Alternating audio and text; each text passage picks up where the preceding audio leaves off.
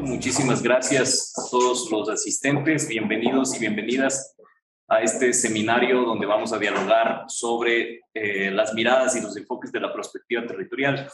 Este es un seminario eh, organizado por la Escuela de Prospectiva Estratégica del Instituto de Altos Estudios Nacionales en conjunto con el apoyo en conjunto con el apoyo a la Maestría en Desarrollo Territorial Rural de Flaxo, Ecuador.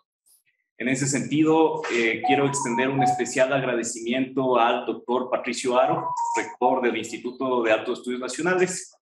Eh, de igual forma, al doctor Felipe Urbano Lara, director general de Flaxo, Ecuador.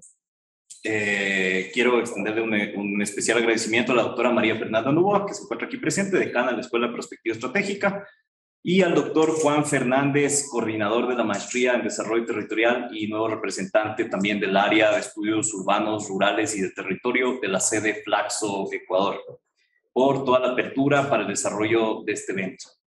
Eh, un fuertísimo agradecimiento a las instituciones que apoyaron a este seminario con sus más altos representantes, eh, al Consorcio de Gobiernos Provinciales del Ecuador, eh, junto con su representante, eh, doctor Rafael Dávila, prefecto de Loja, eh, de igual forma al Centro Latinoamericano para el Desarrollo Rural, con su directora ejecutiva, Carol Chejab, al Centro de Estudios Prospectivos de la Universidad del Cuyo, con sus representantes, la doctora Silvina Papagno y el doctor Javier Vitale, que también representa al Instituto Nacional de Tecnología Agropecuaria de la Argentina.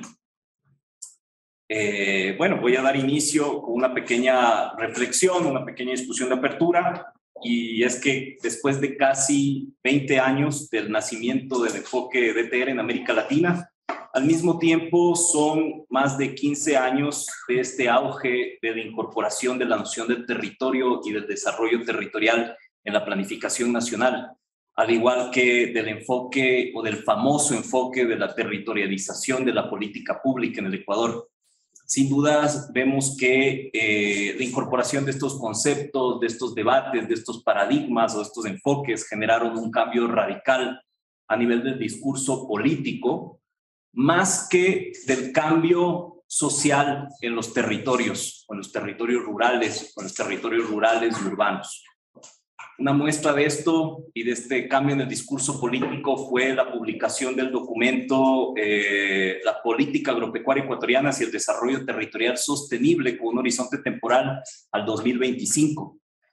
Eh, vemos que en la realidad los ejercicios de estructuración y formulación de política pública todavía responden eh, a un objetivo estratégico cuantitativo de modernización del sector rural, manteniendo siempre niveles de productividad en aumento constante y esto evidentemente en detrimento de los sectores vulnerables de la sociedad, de las agriculturas familiares de los sectores vulnerables campesinos que todavía están marginados de las instancias centrales de toma de decisiones.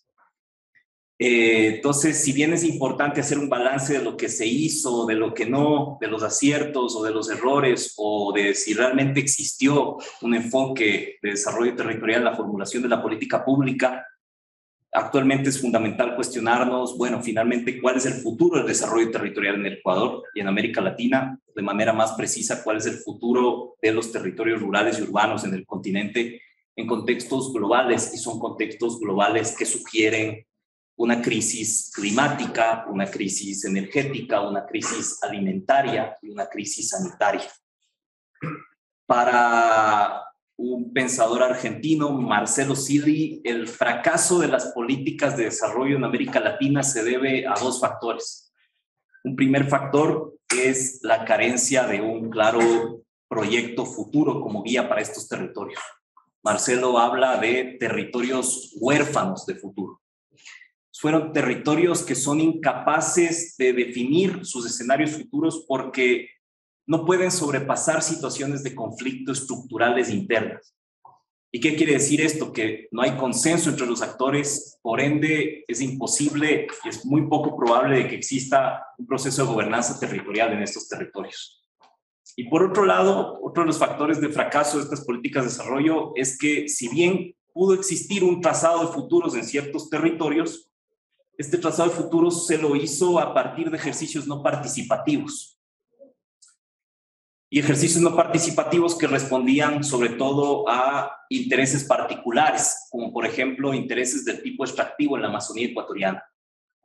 Esto nos da cuenta que el proceso de construcción social del espacio, del territorio, es un proceso complejo que no solamente apela a procesos colaborativos entre actores, sino que la gran mayoría de casos es un proceso de revelación de conflictos y de espacios de conflictos, como diría Pierre Bourdieu, son espacios de campos de lucha o campos de enfrentamiento donde hay subordinaciones, hay actores que intentan ser dominantes o que quieren imponer sus visiones de cómo estructurar el futuro de los territorios. Y esto nos puede llevar a bloquear las posibilidades de eh, el camino hacia el desarrollo territorial porque no estamos generando ecosistemas atractivos y competitivos definidos colectivamente para gestionar mejor los recursos locales y tampoco para articular estos territorios de manera competitiva con los espacios globales. A veces se le ve a la globalización como el peor de todos los males, pero como decía el Premio Nobel de Economía Paul Krugman, la globalización no siempre es la culpable en todos los casos. Entonces, se trata de pasar de un territorio de proyectos, hay distintos proyectos que se van definiendo en el territorio, al, eh, proyecto de territorio, y ese es el proyecto futuro, en un contexto de controversias y de revelar esas controversias. Y ahí es donde entra la perspectiva territorial como un mecanismo de construcción social de los futuros que no puede pasar por alto esta dimensión conflictiva para la construcción de, estos escenarios futuros. Eh, el conflicto territorial, el conflicto de los actores en los territorios es parte de esa gobernanza del territorio porque el conflicto territorial también es parte de las innovaciones territoriales y finalmente hay que visibilizarlo. No hay que hacernos muchas veces los de la vista gorda ante esos conflictos territoriales, ¿no? Entonces, los territorios están en unos escenarios sumamente complejos, están en un contexto sumamente complejo, como ya, le dije, como ya les dije, en crisis, de crisis globales, eh, en donde el autor francés Jean Debris apela a una evolución de la perspectiva territorial. Tenemos que sobrepasar ciertas dimensiones y la perspectiva territorial tiene que ser una función continua y tiene que institucionalizarse, según este autor, en las administraciones locales. Al igual que tiene que renovarse continuamente porque el territorio se renueva continuamente. El territorio es dinámico, el territorio es cíclico y tiene distintas fases de estructuración, a veces se desestructura y se vuelve a reestructurar muy rápidamente y la perspectiva tiene que ser continua también. Entonces se requieren nuevas capacidades para hacer perspectiva territorial, nuevas capacidades en términos de abordaje de conceptos como el capital social o la importancia del capital social como la base para generar estos proyectos colectivos futuros. También nuevas capacidades en torno al manejo de las redes de actores, y en torno a la comprensión de las nuevas culturas asociativas que se van tejiendo en los territorios en épocas globales. En ese sentido, la discusión ya no sería cuál es el futuro de los territorios, sino más bien cómo el territorio va a ser capaz de fortalecer sus niveles de organización, sus redes, su capital social como herramientas fundamentales, como ya lo dije, para enfrentar futuros inciertos y prever escenarios posibles a mediano y a largo plazo.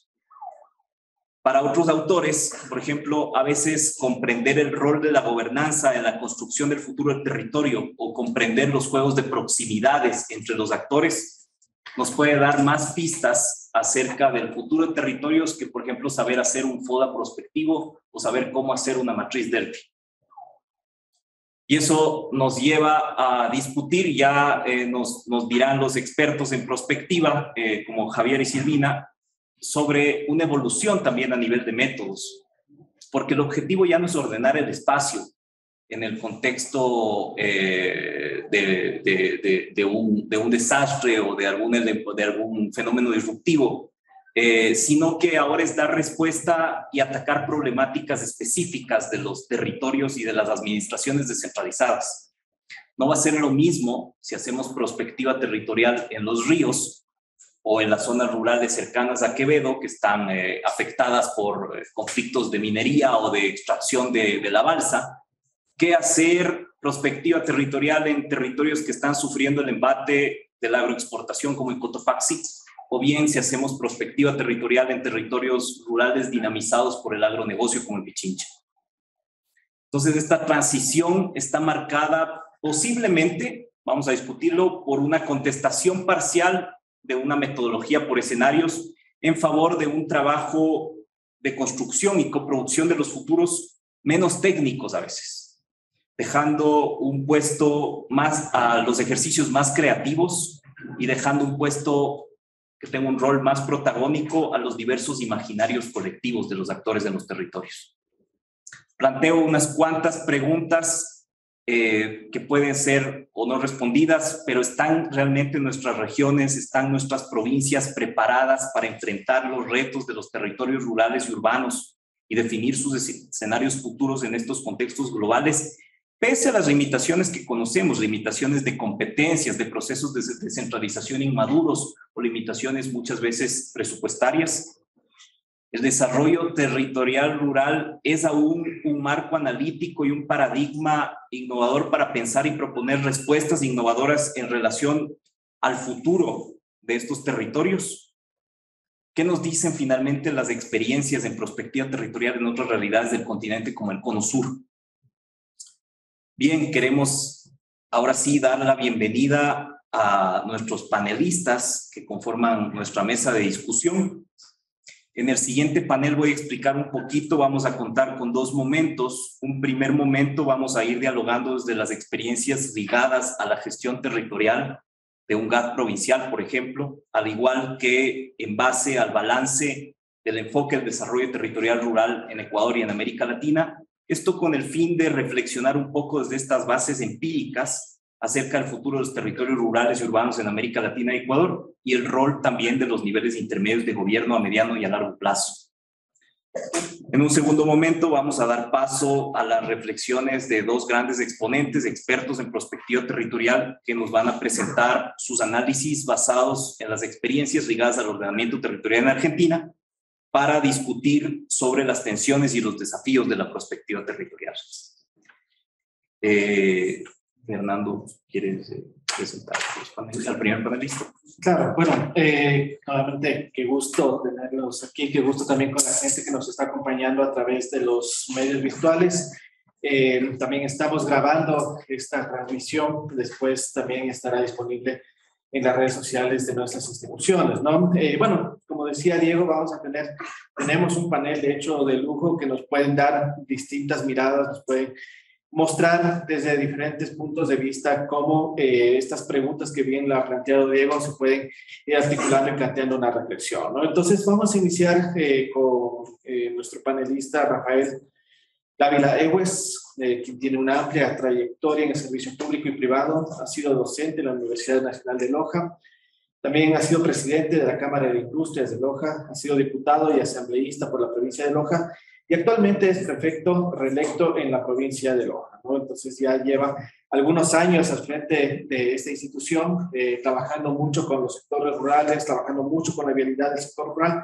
Entonces nos va a aportar con esa mirada institucional estos desafíos, cómo se está manejando eso desde ese nivel de gobierno. ¿no? Entonces, muchísimas gracias por su presencia y estamos muy atentos eh, a escuchar todas sus experiencias. Bueno, muy buenas tardes con todos. Gracias a, a IAN por esta invitación para formar parte de este foro eh, de esta tarde. Quisiera aclarar que si bien soy prefecto de Loja, en realidad estoy esta tarde representando al CONGOPE, al Consorcio de Gobiernos Provinciales del Ecuador, que me han pedido que yo los represente en esta, en esta charla y en esta discusión de este tema. Bien, yo quisiera empezar eh, señalando que evidentemente la planificación, eh, el mundo nos ha enseñado claramente que las crisis eh, en ocasiones pueden desbaratar los, los elementos de planificación. De hecho, la crisis sistémica que ha sido causada por la pandemia dejó en evidencia la vulnerabilidad de los procesos de planificación de largo plazo. Las prioridades cambiaron, y las metas globales que nos habíamos fijado, pues tenían que ser eh, reformadas. Y por ello es necesario, con esa experiencia, repensar el futuro. Resulta para ello primordial cuestionarnos si nos hace falta prospectiva o tenemos un exceso de esta. Los ejercicios prospectivos están relacionados con la disminución de la incertidumbre y la respuesta ante la ocurrencia de crisis. Eh, pero esta es una mirada técnica de los planificadores que puede ser ajena a la comprensión común. Por ello es necesario siempre volver al sentido común y colectivo acerca de la reflexión del futuro y de las cosas que seremos capaces de hacer o no para avanzar. Eh, una de las caricaturas de Quino, Quino eh, pues nos decía, ¿no? Con claridad, seguimos construyendo la destrucción del futuro. Eh, rogamos sepan disculpar molestias. Y lo decía en medio de un ambiente lleno de contaminación y sin humanos. Y Jorge Luis Borges nos decía que el futuro no es lo que va a pasar, sino lo que vamos a hacer. Eh, estas reflexiones, si quieren, artísticas, son una muestra evidente de que el futuro no está muchas veces asociado a una técnica cuantificable, sino que es una filosofía de vida. Tras la pandemia, las reflexiones subyacentes deberían estar asociadas con la clase de futuro que estamos construyendo o destruyendo. Para ello, eh, eh, la historia de la humanidad está asociada a la ocurrencia de crisis como un efecto permanente. Y este siglo no ha sido la excepción. Estamos enfrentando crisis económicas, sociales, políticas, sanitarias, que aparentemente podían no estar en el radar de los planificadores. Por ello, en el año 2008, la crisis económica dejó en evidencia varias burbujas inmobiliarias, la crisis política de toda la década anterior comenzó con las rebeliones, de la primavera árabe, la España de los indignados, los atentados del 11 A ello se sumó la crisis ecológica vinculada al cambio climático, la crisis sanitaria del COVID-19, antecedidas por la gripe aviar y porcina y el mal de las vacas locas. En fin, los mercados volátiles, la recesión, el cierre de emprendimiento han sido el pan de cada día. Por ello es necesario entender que las crisis tienen efectos sistémicos una crisis política tiene impactos económicos y sociales. Y la crisis sanitaria ha dado lugar a impactos laborales, económicos, logísticos y, por supuesto, sociales que aún no han podido ser cuantificados. Esta condición de integración de las crisis, de potenciación mutua en círculos viciosos, obliga a aplicar la multidisciplinariedad en todos nuestros ámbitos de acción. En nuestro país hemos vivido el impacto de las crisis globales, que en algunos casos nos han traído algún beneficio, quizás el incremento en el precio del petróleo, consecuencia de una crisis global, pero también han engrosado los conflictos y crisis propias de nuestra propia dinámica política y social. Por las constantes um, crisis se han configurado los denominados entornos VICA, es decir, entornos volátiles, inciertos, complejos y ambiguos. Los cambios son cada vez más rápidos, lo que da lugar a la volatilidad. La interconexión da lugar a la complejidad a la ausencia de claras conexiones entre causas y consecuencias. Y la fluidez de la sociedad nos lleva a una mayor ambigüedad, a la distorsión de la, de la realidad, a contar con muchas visiones que impiden conceptualizar las, las amenazas.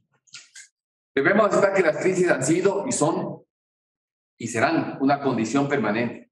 Por lo tanto, el reto de quienes dirigen los procesos de desarrollo está en generar un ecosistema que entienda estas implicaciones y que sus análisis prospectivos sean susceptibles de cambios y evaluaciones permanentes para tomar decisiones que no nos alejen de la visión de futuro y para que en la marcha las secuelas de las crisis puedan convertirse en escenarios favorables.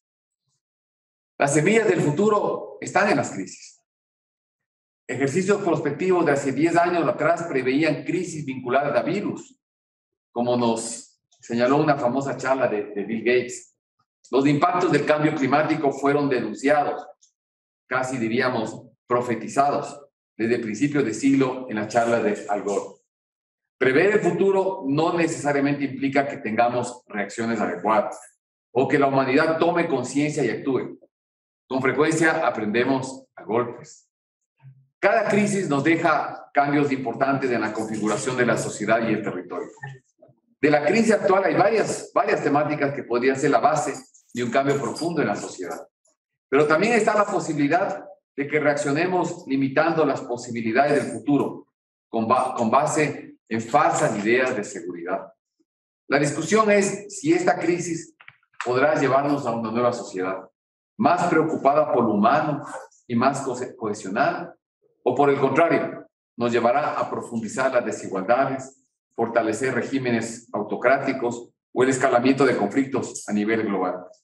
La, la discusión está aún abierta. En cada crisis, también es cierto, existe la posibilidad de reducir los impactos negativos, así como establecer un entorno de oportunidades. Tal como decía Einstein, las crisis son necesarias para generar avances significativos. Nos habrá faltado un poco de perspectiva. En fin, hemos recorrido por las tesis sobre los ejercicios prospectivos y hemos encontrado que hay cuatro actitudes posibles. La primera, la actitud del avestruz, que es no actuar y dejar que las cosas pasen. La segunda, la actitud del bombero o actitud reactiva, que va apagando incendios, apagando impactos y efectos de las crisis, a veces reaccionando tarde o mal. La actitud previsiva, aquella que busca asegurarse, ahorrar, contar con salvaguardias y contingentes antes de lo que pueda venir. Y finalmente, la actitud del conspirador, que podría ser una actitud proactiva, que busca orientar el futuro, construirlo. Esta es la actitud prospectiva. En el Ecuador, la Secretaría de Planificación en el año 2019 emitió una propuesta metodológica de perspectiva para los planes de desarrollo y ordenamiento territorial, que contempla cuatro escenarios. Optimista, pesimista, tendencial y deseable. Este es en realidad el único avance específico en la generación de un instrumento de política pública con visión de futuro en el nivel local. Sin embargo, existen gobiernos autónomos descentralizados que aún no han logrado superar el ejercicio de construcción del Plan de Ordenamiento y Desarrollo Territorial, el PDOT, para determinar el uso adecuado o no de la técnica prospectiva. No obstante, es evidente que los entes rectores han visibilizado el rol del PDOT como instrumento para afianzar los procesos prospectivos, mediante la construcción de visión de largo plazo, de futuro, y que tiene una construcción participativa, a diferencia de los planes nacionales de desarrollo, que muchas veces no cuentan con una metodología de diseño y menos aún con una propuesta clara de asumir la perspectiva en el ciclo de la planificación. La impresión es que hemos intentado ser bomberos más que constructores de futuro.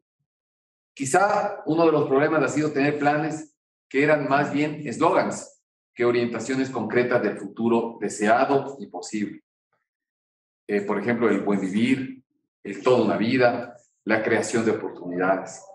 En parte porque a la hecho, se le ha hecho más caso en el sector privado que en los territorios o en el sector público. Al limitar también los planes de desarrollo a apenas cuatro años, que dura un periodo presidencial o un periodo local, estamos ejecutando acciones de corto y mediano plazo, aun cuando los planes hablen de un supuesto enfoque prospectivo como el caso del Plan del Buen Vivir 2013-2017, periodo en el que se produjo la crisis derivada de la baja en el precio del petróleo, el terremoto de Manaví, que eran obviamente escenarios imprevisibles, pero que condujeron a la imposibilidad de aplicar el plan. No decimos con ello que la perspectiva sea la solución o panacea. Los problemas a los que nos enfrentamos como nación son profundos, muchos estructurales, pero hacer el ejercicio de planear el futuro revisar escenarios alternativos y establecer posibles hojas de ruta son, son pasos necesarios para construir el futuro. Creemos que es necesario centrarse en la finalidad de la perspectiva. A veces, aplicar una herramienta no implica de por sí hacer una planificación prospectiva. Contar con un escenario de futuro que parezca un listado de deseos navideños no es prospectiva. Contar con varios escenarios tampoco. La prospectiva implica la toma de opciones por parte de la comunidad. Y de ello adolecen algunas de las herramientas de perspectiva que hemos analizado y tratado de aplicar, en especial aquellas que se apoyan fuertemente en sistemas computarizados. Lo, lo primordial es que en la construcción de la visión de futuro y la estrategia para alcanzarla estén involucrados los habitantes de cada territorio, la población. Por ello, el análisis metodológico que propone el CONGOPE es la perspectiva humana, aquella que requiere un territorio, una sociedad o comunidad que piense su futuro. Y a veces el esfuerzo mayor del ejercicio de planificación, lo que implica generar esa comunidad, fomentar el diálogo, promover que los sueños individuales se conviertan en sueños compartidos. ¿Cuál es en este tema el rol del político, del líder político en los procesos de construcción del futuro? Bueno, la gobernanza es un proceso de planificación prospectiva y debería ser así. Desde la perspectiva humana, supone siempre un mecanismo de cogobernanza o corresponsabilidad entre el actor político y los actores sociales y comunitarios. Nada más contrario a la perspectiva que una gobernanza jerárquica, donde el organismo público conduzca el proceso por sí solo. Creemos que los procesos democráticos en los territorios subnacionales deberían conducir a que las autoridades electas asumamos el rol de liderazgo en los procesos de construcción del futuro. En el lenguaje del COGOPE, ello supone que el prefecto o el alcalde, en el caso de los municipios, asuma el rol de gobierno de territorio en su fase más proactiva, es decir, que gobierne el proceso de desarrollo local. Y aquí quiero insistir en el concepto de gobernanza, de cogobernanza.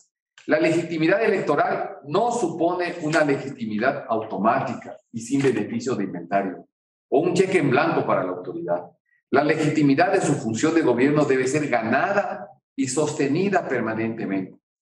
En el proceso de construcción social del futuro, se asume que la autoridad local ha ganado su cargo público por una visión de futuro propuesta en la campaña y que a partir de esa base se va diseñando el futuro de manera participativa y que el cambio de visión o de escenario pueden darse en el proceso. No puede renunciarse a la función de facilitador del proceso de construcción social del futuro en el territorio.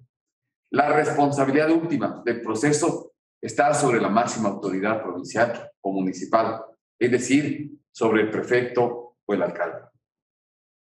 Por ello el desafío es superar el pensar escenarios para construir futuros.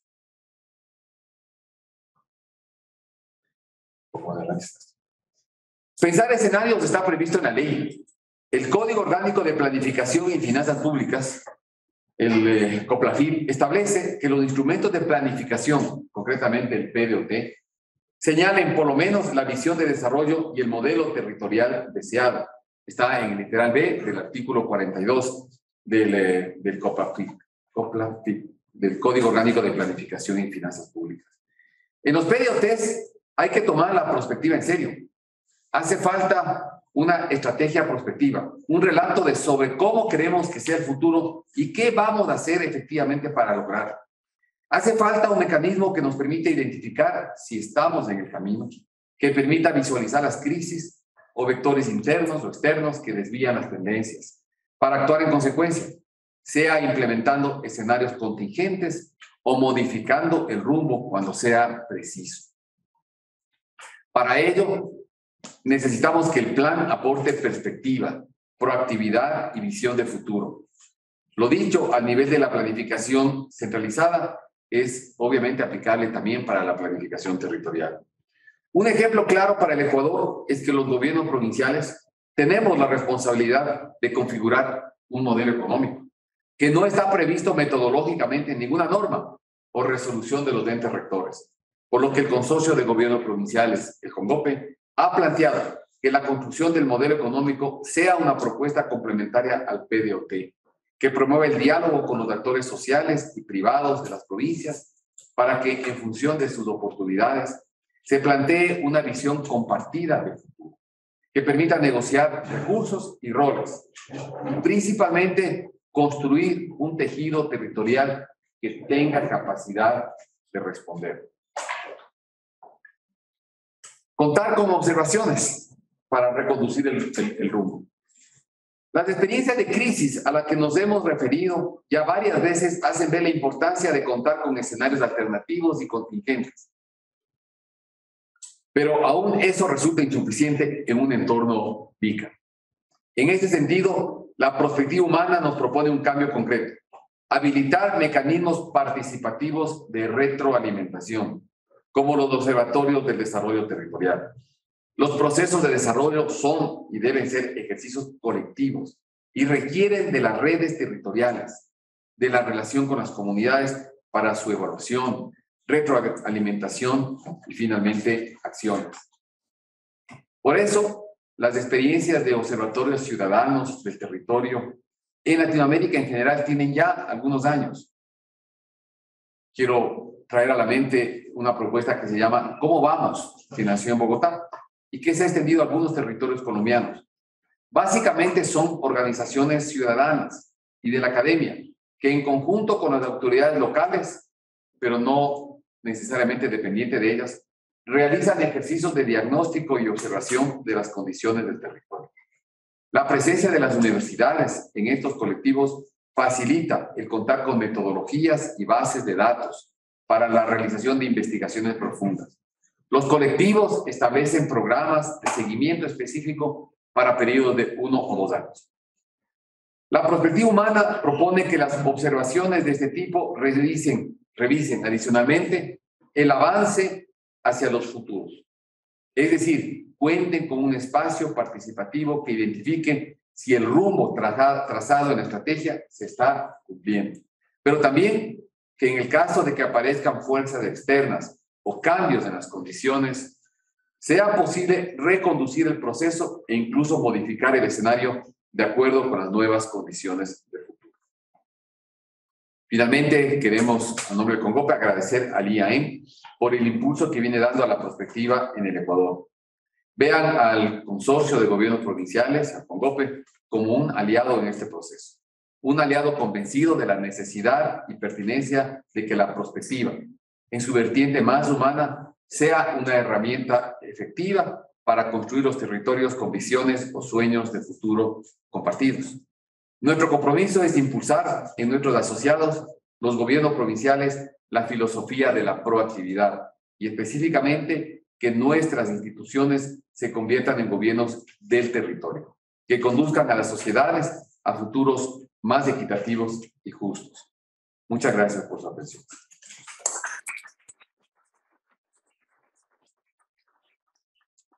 Gracias, señor prefecto. Sin duda, eh, para nosotros es un aliado clave, ¿no? Y por eso justamente esta invitación. Agradecemos también al Congope eh, por participar, por apoyarnos en este tipo de eventos y agradecemos también esta ponencia, ¿no? Que nos habla mucho sobre la crisis, sobre cómo desde la perspectiva se puede ir pensando estos entornos cambiantes, estos entornos vida, como lo ha señalado el señor prefecto, y cuáles pueden ser los roles, cuáles pueden ser los aportes desde esa perspectiva territorial. ¿no? Creo que también el señor prefecto nos ha ido mencionando estos tal vez detalles, ¿no? es decir, no es únicamente la perspectiva, sino que se ha planteado esta propuesta de una perspectiva mucho más humana que implica un relacionamiento con eh, un ámbito multinivel, con un ámbito de participación ciudadana, en el cual tengamos una capacidad de no solamente hacer un ejercicio prospectivo, sino tener la perspectiva como un eje transversal que nos ayuda a la toma de decisiones, pero una toma de decisiones muy adaptativa. ¿no?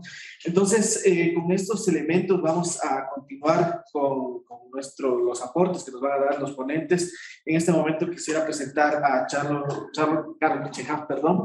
Eh, ella viene en representación de REMIS, eh, que es el Centro Latinoamericano para el Desarrollo Rural de la Universidad de Ecuador del Ministro.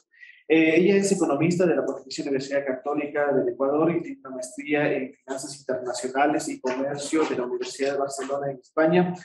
Eh, ha sido subsecretaria de Comercialización del Ministerio de Agricultura y Ganadería, ha sido asesora también de, este mismo ministerio, ha sido consultora en varios elementos, como por ejemplo el comercio exterior, en cadenas productivas, en algunas instituciones internacionales como el Banco Mundial eh, y se ha desempeñado como docente en varias universidades eh, privadas del país. ¿no? Actualmente, como mencionaba, es la directora del Centro Latinoamericano para el Desarrollo Rural y nos van a aportar entonces también con toda esta mirada eh, del desarrollo territorial rural, de cuáles son este estado, de cómo ha ido evolucionando.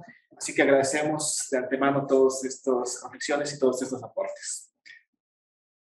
Muchísimas gracias al IAEN y a la Flaxo por esta invitación. Creemos que la construcción del desarrollo rural y la prospectiva hacia un mayor dinamismo de los territorios es obligación de todas las instituciones que de una u otra manera estamos trabajando en este tema. El prefecto ha, hecho, creo que, una propuesta interesante de observatorio de territorios rurales.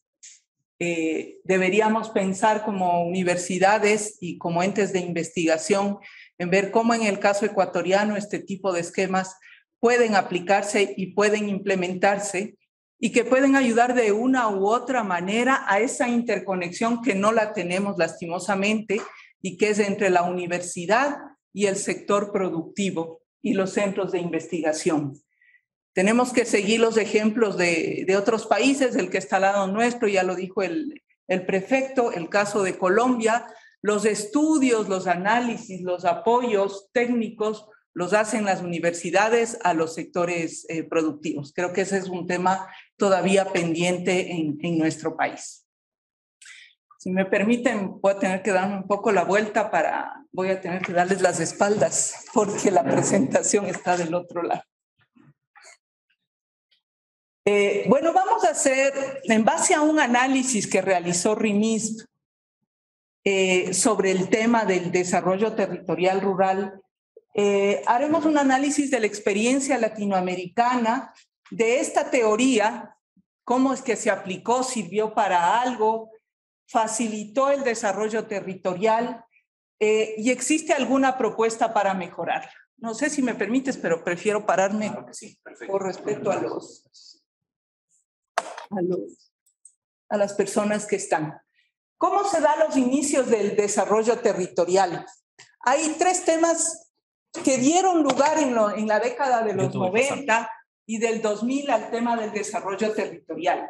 El primero, la visión de que la economía de, las, eh, de los territorios rurales, ya la agricultura no era la principal actividad, y había otras actividades que estaban generando el desarrollo de los territorios.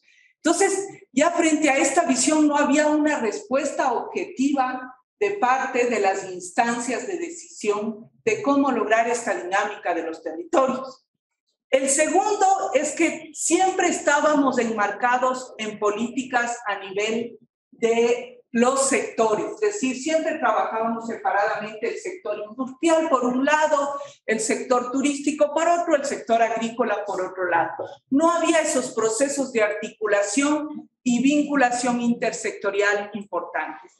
Y la tercera y la más importante de todas es la crítica a la planificación centralizada de las políticas públicas, que en la década de los 90 al 2000 siempre fue centralizada. Entonces, frente a eso, pásale por favor, se presenta esta teoría del desarrollo territorial rural que está construida en base a realidades de los distintos sectores de, de los distintos territorios de América Latina. El primero es que la conceptualización del territorio deja de ser un tema de condición física, de agroecología o biológica, es decir, un territorio concebido geográficamente como un municipio, como una provincia, sino que va más allá de esta conceptualización y tiene que ver con un espacio socialmente construido. Por ejemplo, en el caso ecuatoriano tenemos unas dinámicas relacionadas a productos agrícolas, como el caso del maíz, que no responden a un desarrollo de una provincia o de un municipio, corresponden a lógicas de ciertos actores que interrelacionan en diversos territorios. El segundo tema que planteaba el desarrollo rural es el reconocimiento de la diversidad sectorial en la economía rural. Estábamos observando, por ejemplo, que en la agricultura familiar, la agricultura no era el principal ingreso de, los, eh, de las familias de pequeños productores, sino que había otras lógicas que estaban relacionadas con este tema del empleo no agrícola y que era necesario visibilizar. Un tercer elemento importante que toma en cuenta el desarrollo territorial es la, valorización del papel de los espacios urbanos y de las relaciones rurales urbanas. Pero no estamos hablando de los espacios urbanos rurales solamente el campo y las principales ciudades del país. Estamos hablando de esas ciudades intermedias que están invisibilizadas y que no estamos articulándoles ni para el lado realmente urbano ni para el lado rural.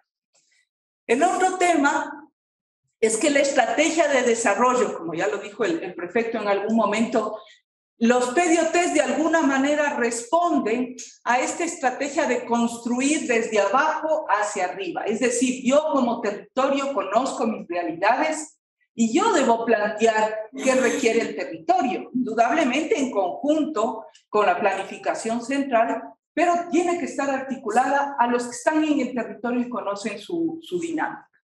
El otro tema es la construcción de la agenda territorial tomando en cuenta un actor territorial colectivo. Es decir, no solamente debemos el sector público tomar las decisiones sobre la planificación local, sino aquí viene el tema del actor territorial como colectivo. El, y los otros dos elementos importantes es que debe haber una combinación entre los procesos de transformación productiva y cambio institucional. Si no se da esa dinámica productiva, eh, pero acompañada de un cambio eh, institucional, de un desarrollo, como dijo Diego, de la gobernanza, difícilmente esta dinámica del territorio va a poder darse en el largo plazo, que es el otro elemento que lo mencionó el prefecto y lo mencionó Diego. Estamos muy preocupados del tema de coyuntura, de apagar incendios, y nos olvidamos del tema de largo plazo. Entonces, bajo esta lógica de las definiciones de, del desarrollo territorial, de las cuales se han escrito miles de libros, hay proyectos relacionados con el tema del desarrollo territorial, inclusive en el Ecuador en su momento se creó eh, una Secretaría de Desarrollo Territorial que estaba adscrita a la presidencia y después el Ministerio de Agricultura. En el ministerio se construyó un viceministro de Desarrollo Territorial sin embargo, eso se dejó eh, de lado y vemos eh, que en este momento lo que se ha hecho, pasemos Diego, por favor, es proyectos principalmente y programas a nivel de América Latina dirigidos al tema del desarrollo rural territorial. Unos solo con nombre, otros realmente que han ejecutado políticas dirigidas a estos elementos que vimos antes Inclusive en el caso mexicano, se estableció la Ley de Desarrollo Rural Sustentable que está ligada directamente al desarrollo territorial rural.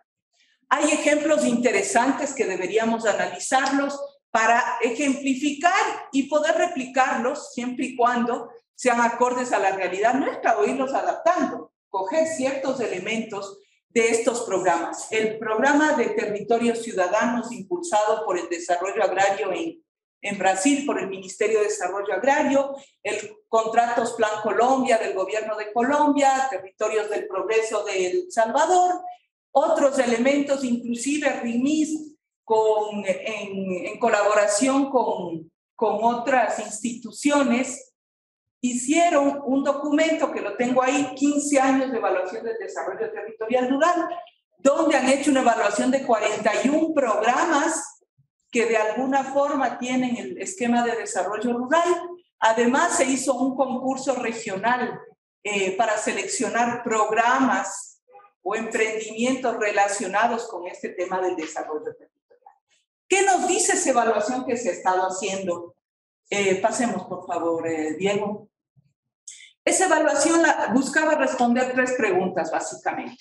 ¿En qué medida el diseño de las políticas que se han hecho se definen como iniciativa de desarrollo territorial rural o simplemente tienen el nombre de desarrollo territorial, pero en la práctica no se les aplica esta conceptualización?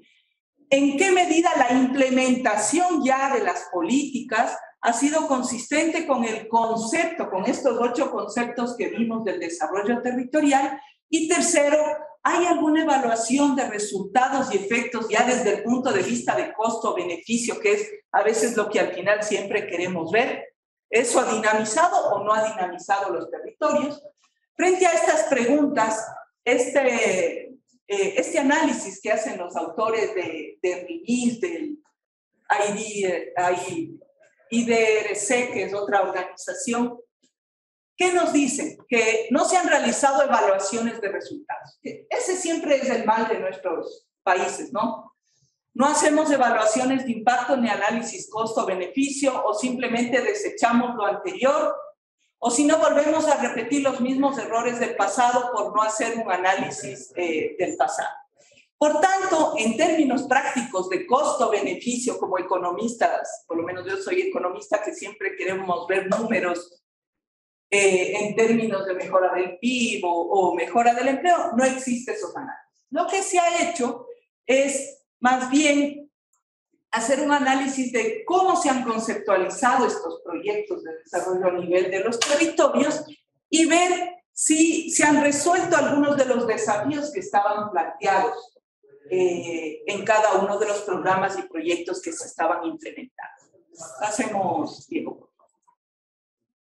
¿Cuáles son los elementos positivos que hemos encontrado del análisis del desarrollo territorial? El primero, que el desarrollo territorial se ha consolidado como una principal narrativa de desarrollo en América Latina.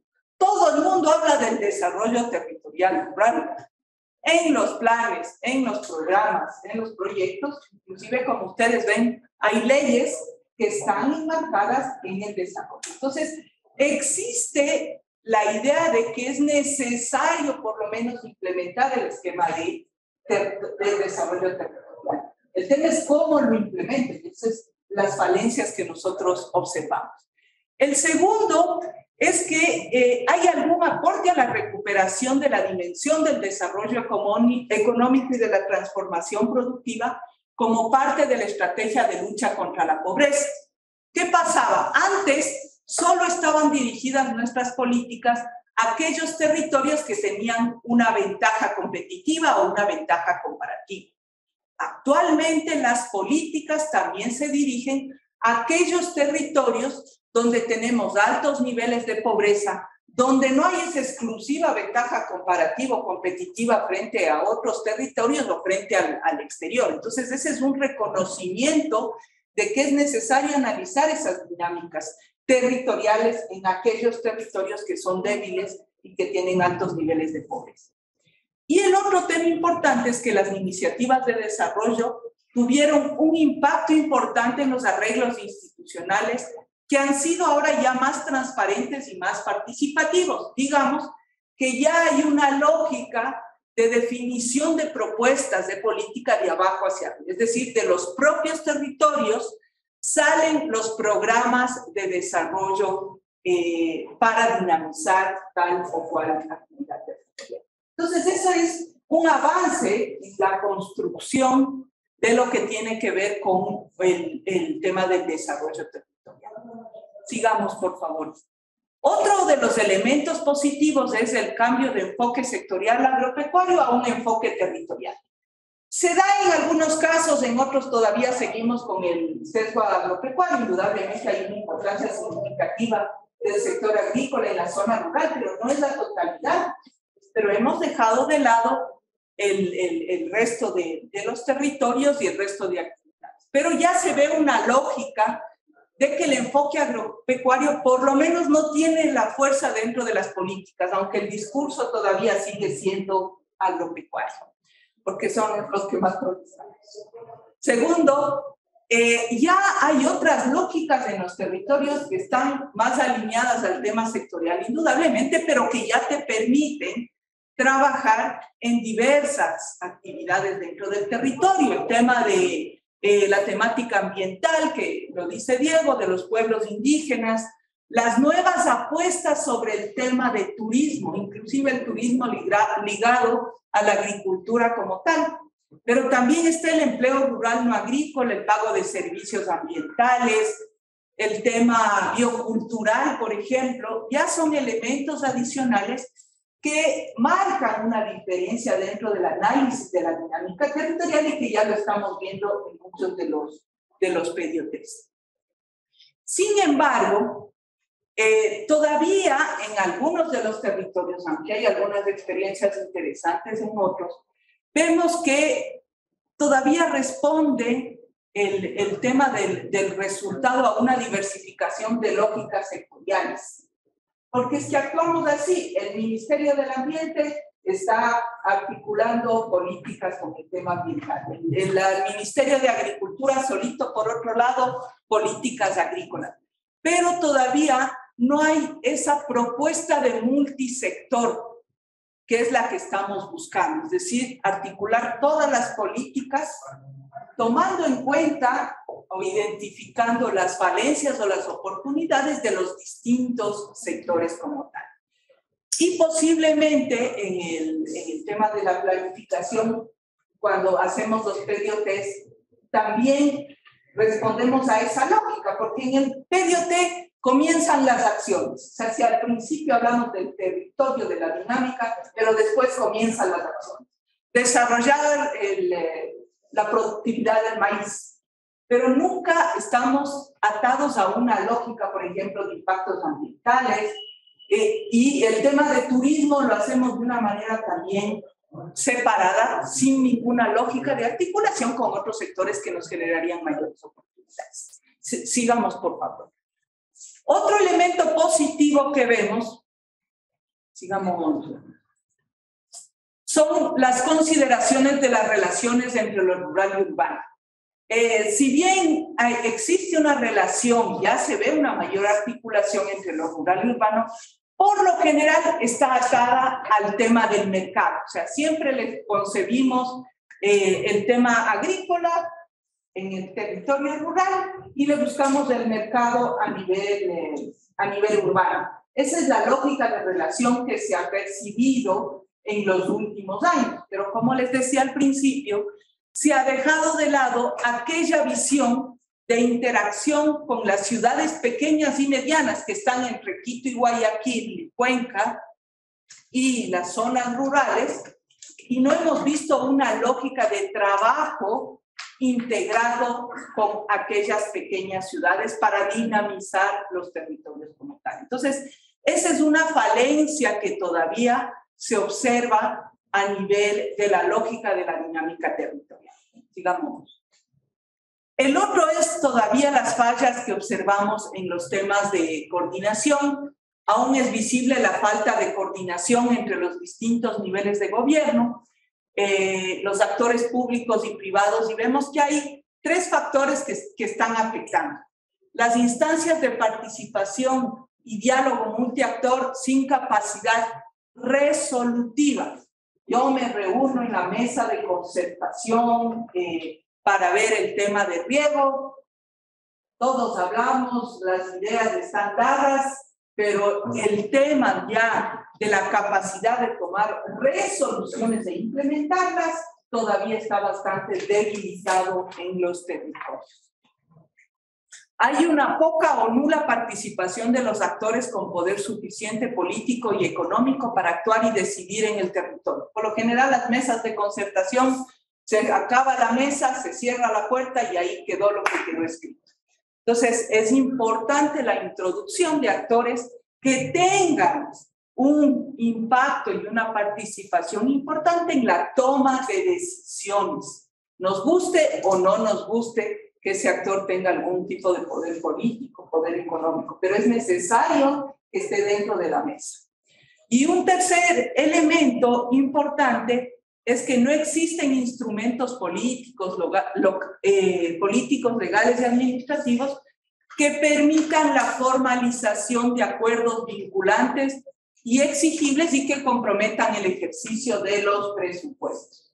Estamos llenos de buenas intenciones, pero estas no se ejecutan porque o decimos que el presupuesto ya está comprometido y por ende no hay una coparticipación de los actores de los territorios en la toma de decisiones de dichos presupuestos. Sigamos, por favor. El limitado empoderamiento de los actores locales, que ya lo dije, si bien hay una contribución a la democratización de la gestión pública, es decir, que ya a través de los sistemas de planificación estamos interviniendo eh, en los espacios para la toma de decisiones, sin embargo, hay dos limitaciones. Eh, como consecuencia del esquema sectorial y la restricción del territorio al espacio más rural, los actores de la mayoría de experiencias corresponde a los de naturaleza agraria. Por lo general, dentro de esas mesas están aquellos actores relacionados con el sector agrícola. Y segundo, la participación social ha sido de tipo consultivo, que significa que yo no tengo incidencia real, sino solo de recomendación en la toma de decisiones. Ese es el otro elemento que no se ha cumplido, digamos, dentro de la lógica de los elementos principales del desarrollo territorial. Sigamos, Diego. Ahora, ¿qué, ¿qué se plantea? No es que ha sido un fracaso, ustedes ven que hay elementos importantes que han servido para la construcción de las dinámicas territoriales. Los autores que han trabajado en el tema del desarrollo rural estiman que, en el futuro próximo el enfoque territorial para el desarrollo de las regiones rurales sigue siendo el mejor camino para hacer frente a las condicionantes restricciones y oportunidades que enfrentan las sociedades rurales. Pero de ahí tenemos que iniciar un proceso de discusión respecto de cuáles deberían ser estas nuevas ideas y cuáles deberían ser los cambios que requerimos a nivel rural para que la estrategia mejore en función de las condiciones reales de los territorios, porque a veces también partimos de una teoría que está en el cielo y no consideramos las cosas de, la tierra, ¿no? de lo que realmente está sucediendo en los territorios. En base a esto, eh, y los, los autores de este tema del desarrollo territorial eh, ponen a la discusión algunos de los elementos. Sigamos, Diego. Eh, el primero, tenemos que necesariamente pasar de agendas sectoriales, que seguimos haciéndolo nuevamente, al aceleramiento de los objetivos de desarrollo sostenible. Indudablemente que al haber en los objetivos de desarrollo sostenible eh, actividades que comprenden los territorios rurales, deberíamos más bien concentrar el esquema de eh, la planificación local en responder a estos, a los objetivos de desarrollo eh, sostenible o sustentable, con la lógica de multisector, ¿no es cierto? Y con la lógica de resolver problemas de varias dinámicas territoriales. El segundo, de pasar de las llamadas mesas de concertación, que tenemos miles de mesas de concertación, a mecanismos eficaces de concertación y de coordinación, Ahí se debería trabajar, se sugiere, en normas e instrumentos que permitan generar compromisos, acuerdos exigibles y verificables. Porque también lo que sucede es que el actor privado eh, que está sentado solo exige, ¿no? Exige, exige, exige, exige, pero no tiene una coparticipación en las decisiones y tampoco tiene una corresponsabilidad en la toma de decisiones. Eso es lo que hay que introducir. Porque yo puedo sentarme y pedir miles de cosas como la carta Papá Noel, pero no, si yo no intervengo dentro del proceso como un sistema de autogestión o de corresponsabilidad como sector privado, difícilmente voy a participar de esa dinámica de futuro. Y el otro es invertir en formación de arreglos institucionales más duraderos que incluyan la coordinación y la rendición de cuentas. Entonces, esa mesa sectorial que se forma porque hay un, un, tema de urgencia, pero la mesa desaparece en tres meses, desaparece en seis meses y no tiene una lógica de responsabilidad en sí. La otra es de la participación, es decir, de sentarme en el puesto, en la reunión, al empoderamiento y a la cogestión. Y al respecto hay muchos ejemplos interesantes en muchos de los proyectos que les invito a leer el libro que nos dan eh, respecto de cómo trabajar en el tema del, del empoderamiento y la cogestión. Ya existen muchos programas y proyectos donde se da la posibilidad de que los actores manejen recursos corresponsabilizándose a través de una rendición de cuentas. Por ejemplo, aquellos proyectos en los cuales como emprendimientos, hablemos simplemente de los emprendimientos donde hay una coparticipación. A ver, yo como Estado o como proyecto te doy un, plan, un capital semilla, pero tú tienes que poner una contraparte. Pero la decisión de en qué se utilizan los recursos está del lado de los actores, que digamos ellos conocen mayormente. Entonces, es un ejemplo de cómo se puede hacer nuevos esquemas de empoderamiento y de cogestión. Eh, sigamos, por favor. El otro tema es las mancomunidades, por ejemplo, entre los distintos municipios como tal, o entre los distintos consejos provinciales, donde la toma de decisiones y los recursos eh, se los hace de manera conjunta. Del sesgo sectorial a la construcción de inteligencia territorial y de capacidades institucionales, bueno, ya lo dijimos, eh, de la preocupación por la dimensión ambiental de la agricultura, porque siempre lo único que nos mueve ahora es que el cambio climático está afectando a la agricultura, hacia nuevas formas de relación entre la sociedad y la naturaleza. Aquí viene el tema de la multifuncionalidad de eh, los espacios rurales. Son multifuncionales, no son solo agrícolas. La conservación de la naturaleza, los pagos por servicios, la valorización de la biodiversidad, del patrimonio cultural, entre otros, son temas que debemos meterles dentro de la dinámica, no solo como un tema que le impacta a, la sostenibilidad agrícola como tal, sino como temas importantes. Y la diversidad de experiencias localizadas puede ser la opción para el diseño de estrategias. Como les decía, nos olvidamos de lo que está pasando, de lo que pasó hace 10 años, ni siquiera tomamos en cuenta y repetimos los mismos programas, los mismos proyectos, sin considerar esas experiencias. Este del tema del desarrollo territorial rural hay muchas experiencias significativas que pueden servir de base para la construcción de las dinámicas territoriales a nivel del Ecuador. Sigamos, por favor. Ya, se acabó el minuto. En definitiva, Gracias. en definitiva, tenemos que pensar en una lógica de dinamizar el territorio con la corresponsabilidad de los actores territoriales en su conjunto, no respondiendo solamente a lógicas partidistas o a lógicas clientelares o al que grita más desde el, que, al que se le atiende, sino una lógica de todas esas actividades que tenemos en el territorio y que están entrelazadas. Muchos de los territorios, recuerden ustedes en el Ecuador, el empleo o el ingreso no viene solo de la actividad agrícola, sino viene de actividades rurales diferentes. Pero esos están durmiendo el sueño de los justos, esos, eh, esas dinámicas que, vemos y no las estamos utilizando. El tema, por ejemplo, de, biocultural, no lo, estamos, no lo estamos explotando a nivel del Ecuador. El tema de la diversidad que tenemos a nivel de los territorios ecuatorianos, tampoco lo estamos explotando como un tema de agroturismo o un, tema de desarrollo, desarrollo localizado. Entonces, son elementos importantes que podrían mejorar la dinámica territorial y que eh, nos ayudarían de una u otra manera a lograr esa reducción de la pobreza que creo que es el fin último de todos.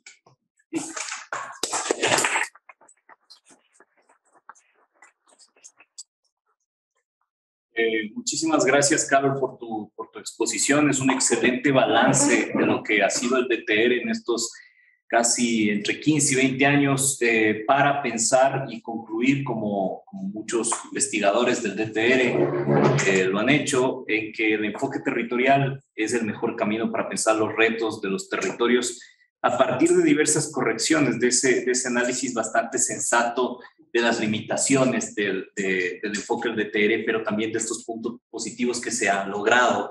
Eh, como decía eh, Arilson en alguna conversación que, retoma lo que dices, Carol, eh, hemos hablado muchísimo de las relaciones urbanos-rurales, pero poco se han incorporado las ciudades en los planes eh, de desarrollo y ordenamiento territorial. Entonces, esa valorización del espacio urbano y estas ciudades intermedias que decía Carlos que han estado invisibilizadas es fundamental para pensar el futuro de estos territorios rurales también.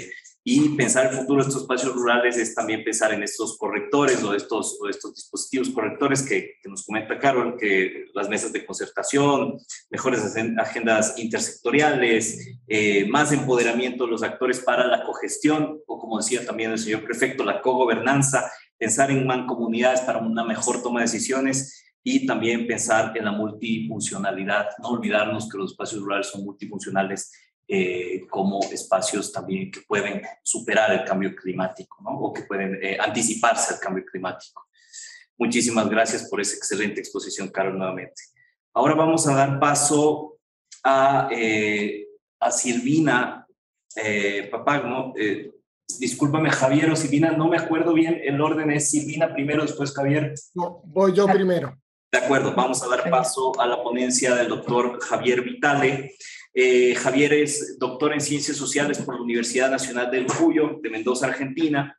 Javier es especialista en prospectiva y planificación estratégica en los campos agroalimentarios y territorial. Es investigador del Instituto Nacional de Tecnología Agropecuaria de INTA Argentina y también es codirector del Centro de Estudios Prospectivos de la Universidad Nacional del Cuyo. Javier también se desempeña como secretario técnico de la Red Abierta Prospectiva e Innovación para América Latina y el Caribe y es miembro del Comité Ejecutivo de la Federación Mundial de Estudios de Futuro. Actualmente coordina eh, diversos proyectos en el INTA y también es autor de varios libros y artículos académicos sobre prospectiva territorial. Muchísimas gracias por tu, por tu participación en este evento, Javier. Adelante. Bueno, buenas tardes para todas y todos. Un gusto compartir con todos ustedes este momento. Agradecer a la Escuela de Prospectiva Estratégica del IAYEM y a la Flaxo Ecuador por la invitación. En particular, quisiera saludar a Fernanda Novoa por bueno, todas estas gestiones, así que muchísimas gracias.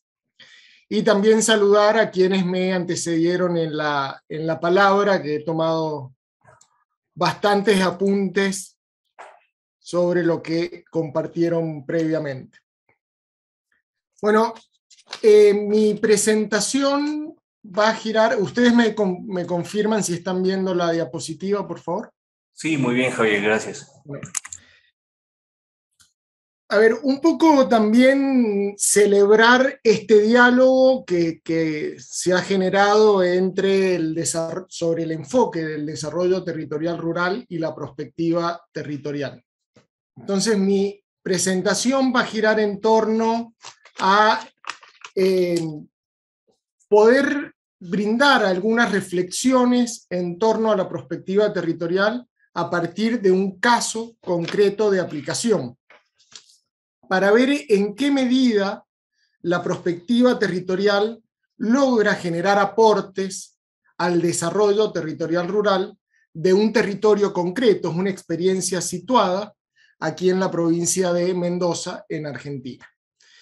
Eh, mi charla gira en torno a tres grandes temas. Por un lado, el contexto del el desarrollo y la evolución que ha tenido la perspectiva territorial en la Argentina, luego la profundización del caso de estudio que vamos a compartir.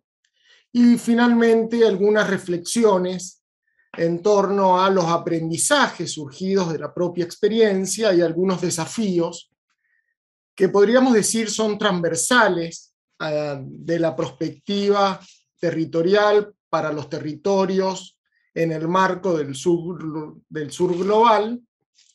Y también, bueno, ahí sí como un intercambio de lo que ya se ha venido diciendo a lo largo de, esta tarde. Em, a ver, Argentina desde eh, inicios del 2000 viene atravesando con algunos avances, retrocesos, como los vaivenes que tiene nuestra América, eh, un modelo de desarrollo nacional que volvió a poner en el centro de la escena el rol del Estado en su función de planificación, de planificador para el desarrollo.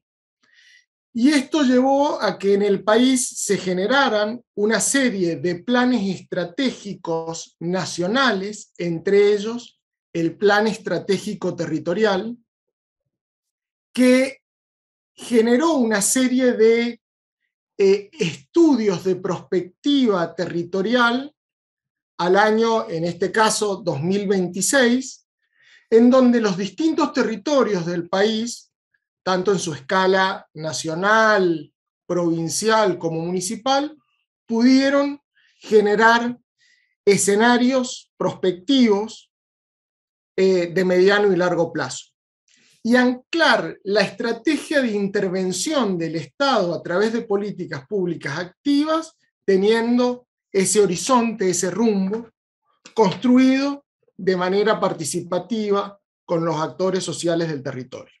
En ese marco nacional, en el INTA, que es donde yo trabajo como investigador, hemos desarrollado distintas experiencias de eh, prospectiva territorial en territorios situados, en territorios concretos, en donde analizamos básicamente el comportamiento futuro de las dinámicas territoriales, por un lado, urbanas rurales, que ya se hicieron mención recién, y por otro lado, las dinámicas referidas a la interfaz productivo-ambiental. Entonces, aquí ustedes ven un mapa de nuestro país, las distintas experiencias que están siendo promovidas, lideradas, en algunos casos por el INTA, en otros casos por universidades nacionales, por otros organismos o agencias nacionales de nuestro país. De todas estas experiencias, todas están documentadas, tienen eh, en su gran mayoría publicaciones disponibles a través de Internet, en donde pueden conocer estos casos en profundidad, yo me voy a centrar en una experiencia en particular que hemos desarrollado aquí en la provincia de Mendoza, que es en el departamento de Tupungato, de Tunuyán, perdón, eh, un estudio de prospectiva con un año horizonte al año 2030. ¿Y por qué esta experiencia? ¿Por qué este caso que hemos seleccionado para compartir con ustedes? porque tuvo la particularidad de eh, generar un entramado institucional que promovió el estudio a partir de articular organismos de escala internacional como la FAO, que fue el organismo que apoyó económica y técnicamente el desarrollo del estudio, vinculó dos organismos nacionales muy importantes en la Argentina, que es el Ministerio de Agricultura, Ganadería y Pesca de la Nación y el Instituto Nacional de Tecnología Agropecuaria, INTA, con una instancia local como la municipalidad del departamento de Tunuyán. Entonces, en el marco de un convenio interinstitucional de cooperación técnica, eh, se llevó a cabo este estudio que a su vez se enmarca en el desarrollo, ya lo vamos a ver eh, enseguida, de una serie de estudios de base que sirven de insumo para la política pública de ordenamiento territorial de ese municipio. Ahora vamos a hacer un paréntesis para aquellos que no conocen la provincia de Mendoza. Mendoza está ubicada al oeste del de, eh, país, limitamos con Chile y tiene la particularidad, como toda la región eh, andina de nuestra de Latinoamérica, de ser un área semidesértica, un área árida. Ustedes ven allí el contraste en imágenes de lo que es eh, las zonas de tierras no irrigadas de la, de la provincia, lo que sería, podríamos decir, el desierto o las zonas de secano, con el contraste de la imagen, esto es el, área metropolitana, la ciudad de Mendoza, que es ese puntito amarillo que ustedes ven aquí, que es un oasis irrigado, o sea, son tierras secas irrigadas artificialmente y que permiten tener esa imagen de una ciudad jardín. Mendoza, el 4% de su superficie es esta imagen, es de los oasis irrigados, que es lo que ustedes ven en color verde en el mapa, y el resto, el 96% del territorio es zonas de tierras secas no irrigadas. Obviamente en la zona de los oasis es donde se asienta la población o la mayor porcentaje de la población y eh, se desarrollan las actividades industriales, productivas, que principalmente tienen una base eh, agropecuaria, la provincia, muy importante, sobre todo basado en lo que es la vitivinicultura.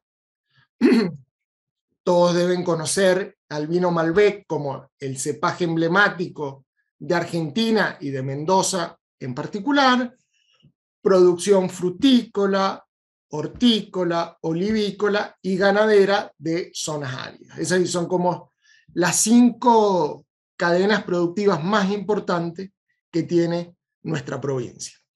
El estudio que vamos a compartir se basa principalmente en, perdón, en el oasis del Valle de Uco, que es el oasis más hacia el oeste que tenemos en la región centro de la provincia. Como ustedes se deben imaginar, como vivimos en un desierto, el recurso hídrico estructura históricamente el modelo de desarrollo de la provincia de Mendoza y estructura, por lo tanto, el desarrollo del territorio.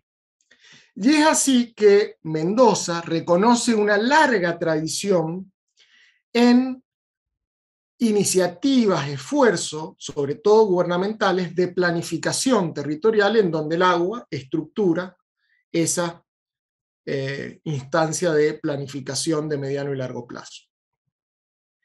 En esa, en esa trayectoria de la planificación territorial, en el año 2009, la provincia eh, sancionó una ley, que es la 8051, de uso del suelo y ordenamiento territorial.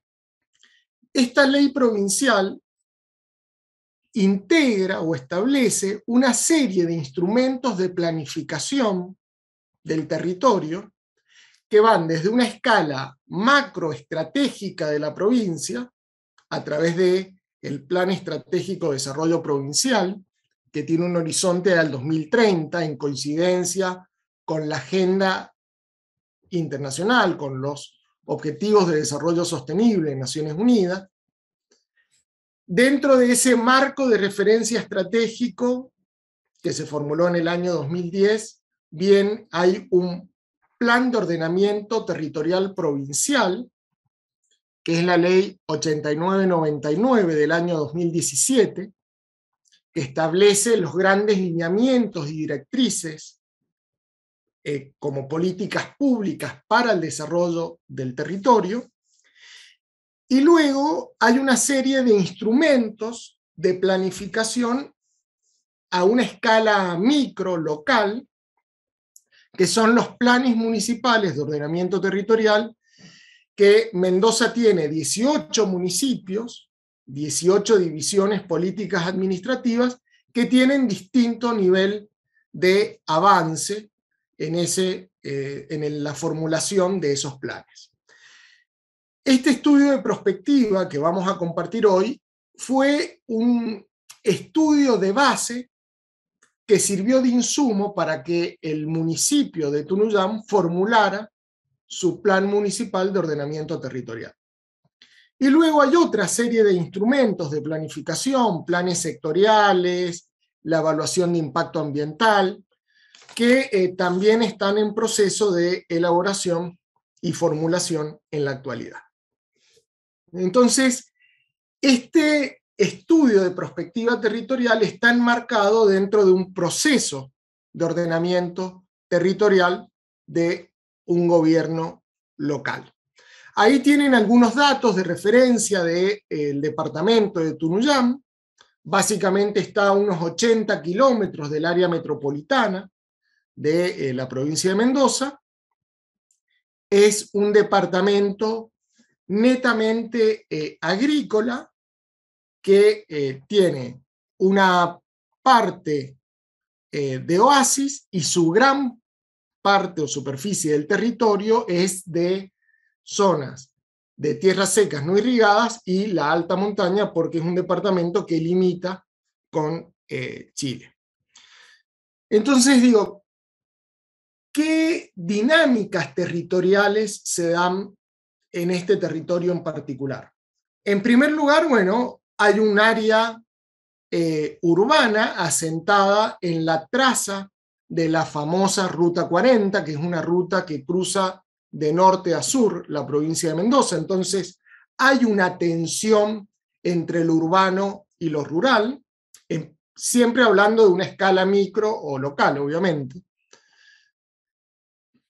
Pero también es el departamento que se caracterizó del 2000 en adelante, en donde se da el mayor avance de la frontera agropecuaria sobre el ecosistema natural, sobre el pie de monte, producto de la expansión de la superficie cultivada con vid. Es una de las zonas de los famosos vinos de altura, en donde hay un corrimiento de la eh, superficie cultivada hacia el pie de monte, hacia el oeste de ese departamento, generando, por un lado, problemas de inundación en las zonas urbanas, en las zonas bajas del territorio, y por otro lado, esa expansión, esa nueva superficie cultivada está asociada a un determinado modelo tecnológico de productores que, que están capitalizados, en, gran, en, su mayoría son eh, grupos vitivinícolas internacionales que vienen y se asientan en ese territorio y que dependen de determinados modelos tecnológicos, por ejemplo, la extracción del agua subterránea para el riego o determinadas eh, tecnologías enológicas para hacer estos vinos de alta calidad y que principalmente tienen como destino el mercado internacional. Entonces también hay allí una problemática en el acceso, uso y gestión de los recursos naturales, de apropiación de los recursos naturales por actores extranjeros o exógenos al territorio.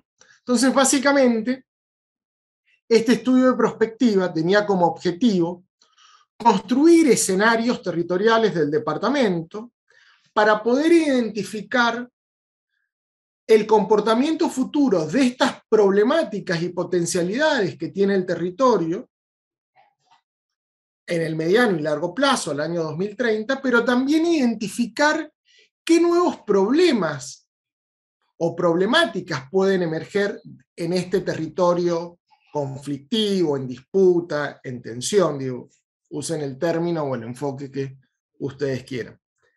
Y en segundo lugar, generar conocimiento sobre el futuro del territorio para obtener lineamientos y directrices para que el municipio pudiera mejorar, profundizar, ampliar su política y gestión del territorio a partir del ordenamiento territorial y que, como dije, tengamos en cuenta que este territorio es netamente rural. Entonces, el insumo de la prospectiva permitía mejorar el enfoque de desarrollo territorial rural que estaba siendo o está siendo promovido a nivel del gobierno local. Y para eso, entonces, este consorcio interinstitucional, FAO, Ministerio a nivel nacional, INTA, gobierno local, diseñó una estrategia y metodología participativa con enfoque prospectivo para desarrollar estas visiones de futuro del territorio, estas visiones compartidas, y poner en diálogo, a través de una metodología y una dinámica, los diversos intereses de los actores locales que tiene ese territorio. Y poder generar una visión compartida del pasado, presente y futuro del territorio en cuestión, teniendo en cuenta que estos actores sociales tienen intereses antagónicos, que hay relaciones de poder que los atraviesan y que estas relaciones son asimétricas y son subordinadas. Entonces también la dimensión del poder en quien configura el territorio es un aspecto clave al, desarrollar un estudio de perspectiva territorial. Digo, no, no deberíamos tener una mirada ingenua sobre la participación y los actores sociales entre sí. Este estudio de prospectiva tiene, como todo estudio de prospectiva en general, tres grandes macropasos. Partimos de un diagnóstico prospectivo que tiene ciertos atributos, ciertas cualidades, es dinámico porque entendemos que en clave temporal, en series temporales, damos cuenta de los cambios profundos que ha sufrido un territorio, entendiéndolo como un territorio vivo que está en permanente cambio. Es multidimensional porque concebimos al territorio como un sistema complejo en donde hay múltiples dimensiones de análisis que interaccionan, la social, la tecnológica, la económica, la ambiental, lo político, lo cultural, y es explicativo, no es un diagnóstico que describe el territorio, que describe ese modelo territorial actual, sino que trata de comprender las estructuras sistémicas subyacentes en ese territorio en cuestión y que por lo tanto este diagnóstico se traduce en una base robusta de evidencia empírica, cuantitativa, pero también cualitativa, porque nos apoyamos en los conocimientos y en las experiencias que tienen los actores sociales que viven en ese territorio, que modifican con sus acciones o con sus procesos de toma de decisión el territorio y que tratamos de entender en clave temporal esos cambios profundos, cambios relevantes, cambios significativos que tiene el territorio. Y este diagnóstico da cuenta del pasado, el presente y el territorio y concluye con la identificación precisa y clara de las tendencias y las incertidumbres a futuro. O sea, tendencias, aquellas dinámicas territoriales que van a continuar operando de una forma, entre comillas, conocida al año horizonte del estudio, por ejemplo, el impacto del cambio climático, los cambios demográficos, y las incertidumbres a futuro son aquellas dinámicas territoriales que desconocemos cómo pueden comportarse al año 2030. Y estas incertidumbres son claves porque van a ser los elementos diferenciadores de un escenario a otro. Son los elementos que van a eh, distinguir eh, los escenarios posibles que podamos construir en la segunda etapa, en el segundo macropaso del estudio de prospectiva, que es construir imágenes visiones de futuro al 2030 y derivar la trayectoria, derivar las acciones estratégicas necesarias para pasar de la situación actual a esa situación futura que nosotros podamos construir.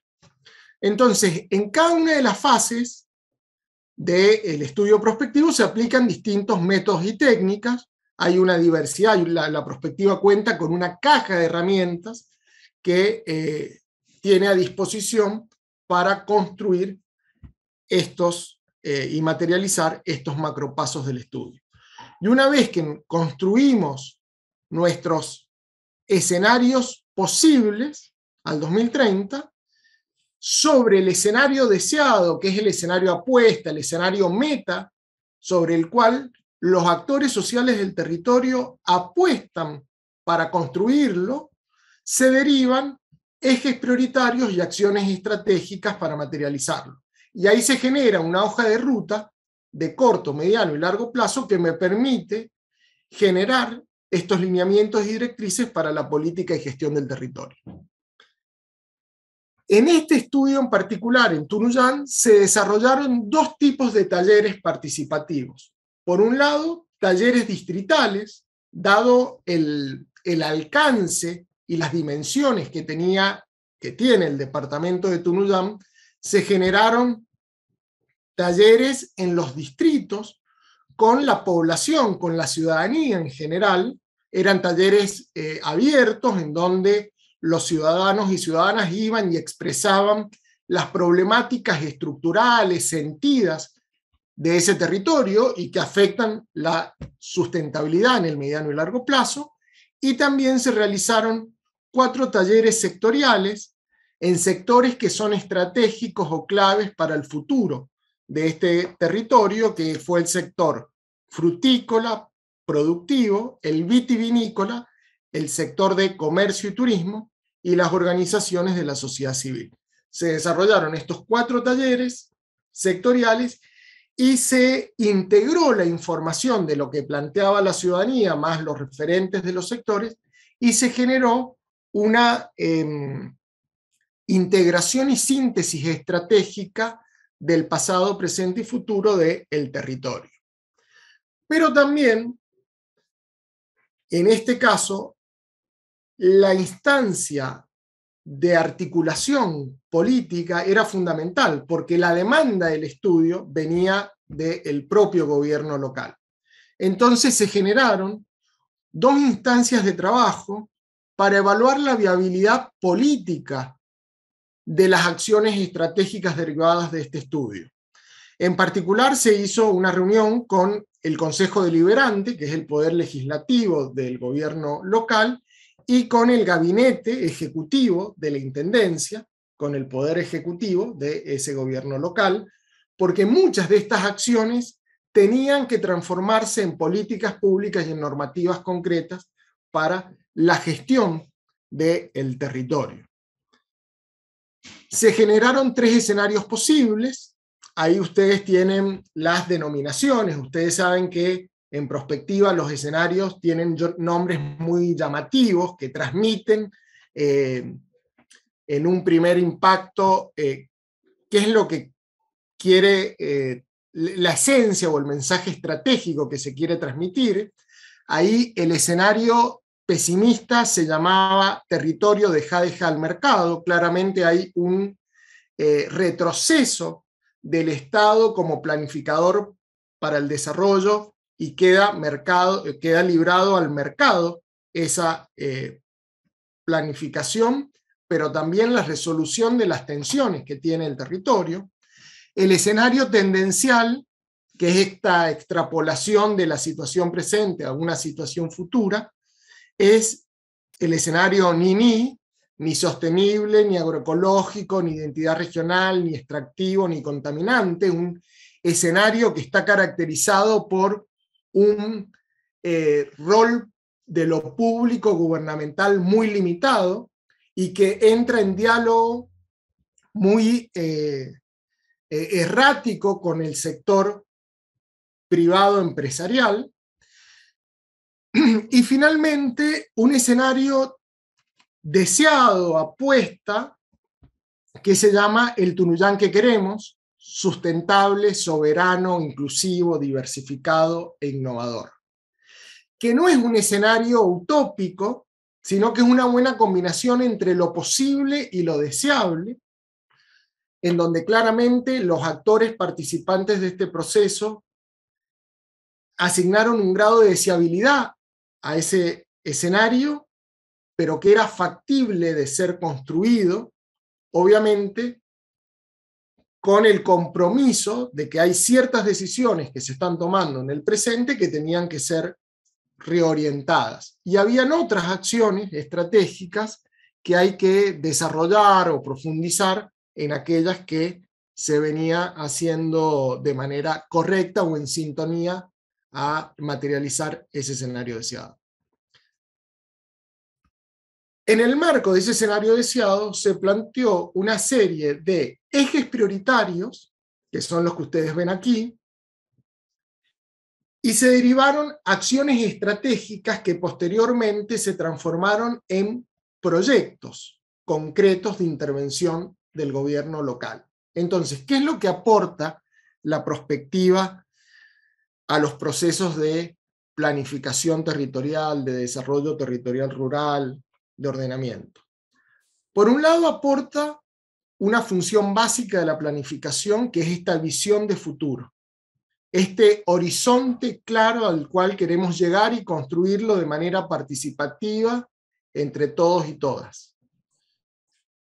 En segundo lugar, deriva ejes que se transforman en programas estratégicos del municipio. Hoy el municipio está estructurado en estos ejes o estas prioridades de acción que ustedes pueden ver son de los más diversos, desde el fortalecimiento de la producción agropecuaria, el desarrollo industrial, el turismo, la infraestructura y el equipamiento social, la gestión de riesgo, la dimensión científica tecnológica, el fortalecimiento institucional. Y sobre esos ejes se derivan proyectos. Este es un ejemplo que yo les traigo de cómo desde el eje fortalecimiento de los sectores agropecuarios, de los sectores productivos, se traducen en proyectos concretos de intervención, en manifestaciones a través de políticas públicas concretas. Y el municipio, lo que sobre estos lineamientos y directrices formula proyectos de intervención planteando objetivos, metas, indicadores, buscando socios estratégicos para llevar adelante estas eh, acciones. Y así se, se trabajó con cada uno de esos ejes prioritarios. Se definieron una serie de proyectos que el municipio tuvo que salir a buscar financiamiento externo para llevar adelante. Entonces ahí vemos la articulación multinivel. Lo estratégico del plan, lo programático a nivel meso y lo micro a nivel operativo. Y ya para finalizar, algunos aprendizajes de esta experiencia. Por un lado, y, digo, hay algunas cosas que ya se han venido diciendo. La prospectiva se apoya o tiene como eje epistemológico la construcción social de conocimiento. Entonces, los aspectos o el proceso tanto de construcción como de apropiación social son fundamentales para garantizar el éxito de este tipo de estudios. Porque si no puede pasar como cualquier otro estudio científico académico, desde la lógica de la investigación-acción participativa que queda solo en la publicación. Bueno, la Escuela Francesa de Prospectiva incorporó el concepto de apropiación para pasar de la anticipación como ejercicio intelectual a la acción concreta fortalece o, desarrolla capital social, capacidades técnicas institucionales que contribuyen al desarrollo y a la sustentabilidad del territorio. La prospectiva facilita los procesos de construcción social de conocimientos interdisciplinarios, no solo de conocimiento científico, sino de los saberes en general. Genera nuevas capacidades del territorio, ya lo vamos a ver con Silvina, las capacidades eh, anticipatorias como capacidad estatal. Ahí genera también tensiones, por lo menos en sistemas representativos de gobierno, como es el caso de Argentina, genera tensiones con una participación ampliada de los actores sociales del territorio, que hay que tener en cuenta. Ya ahí también dijimos referencia a las relaciones de poder. Y sobre todo la relevancia que adquieren los estudios de prospectiva territorial, el sentido que adquieren cuando generan insumos para los procesos de planificación y ordenamiento territorial.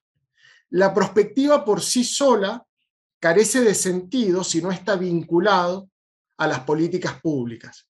Y es allí en donde adquieren como su máxima expresión. Y finalmente, bueno, este tipo de estudios y conocimientos generados mejoran la inteligencia territorial y los mecanismos de articulación y coordinación a través de esquemas de gobernanza de los territorios. Así que bueno, muchas gracias por eh, el tiempo y bueno, quedo a disposición después para las preguntas. Gracias Javier, muchísimas gracias por, eh, tu participación.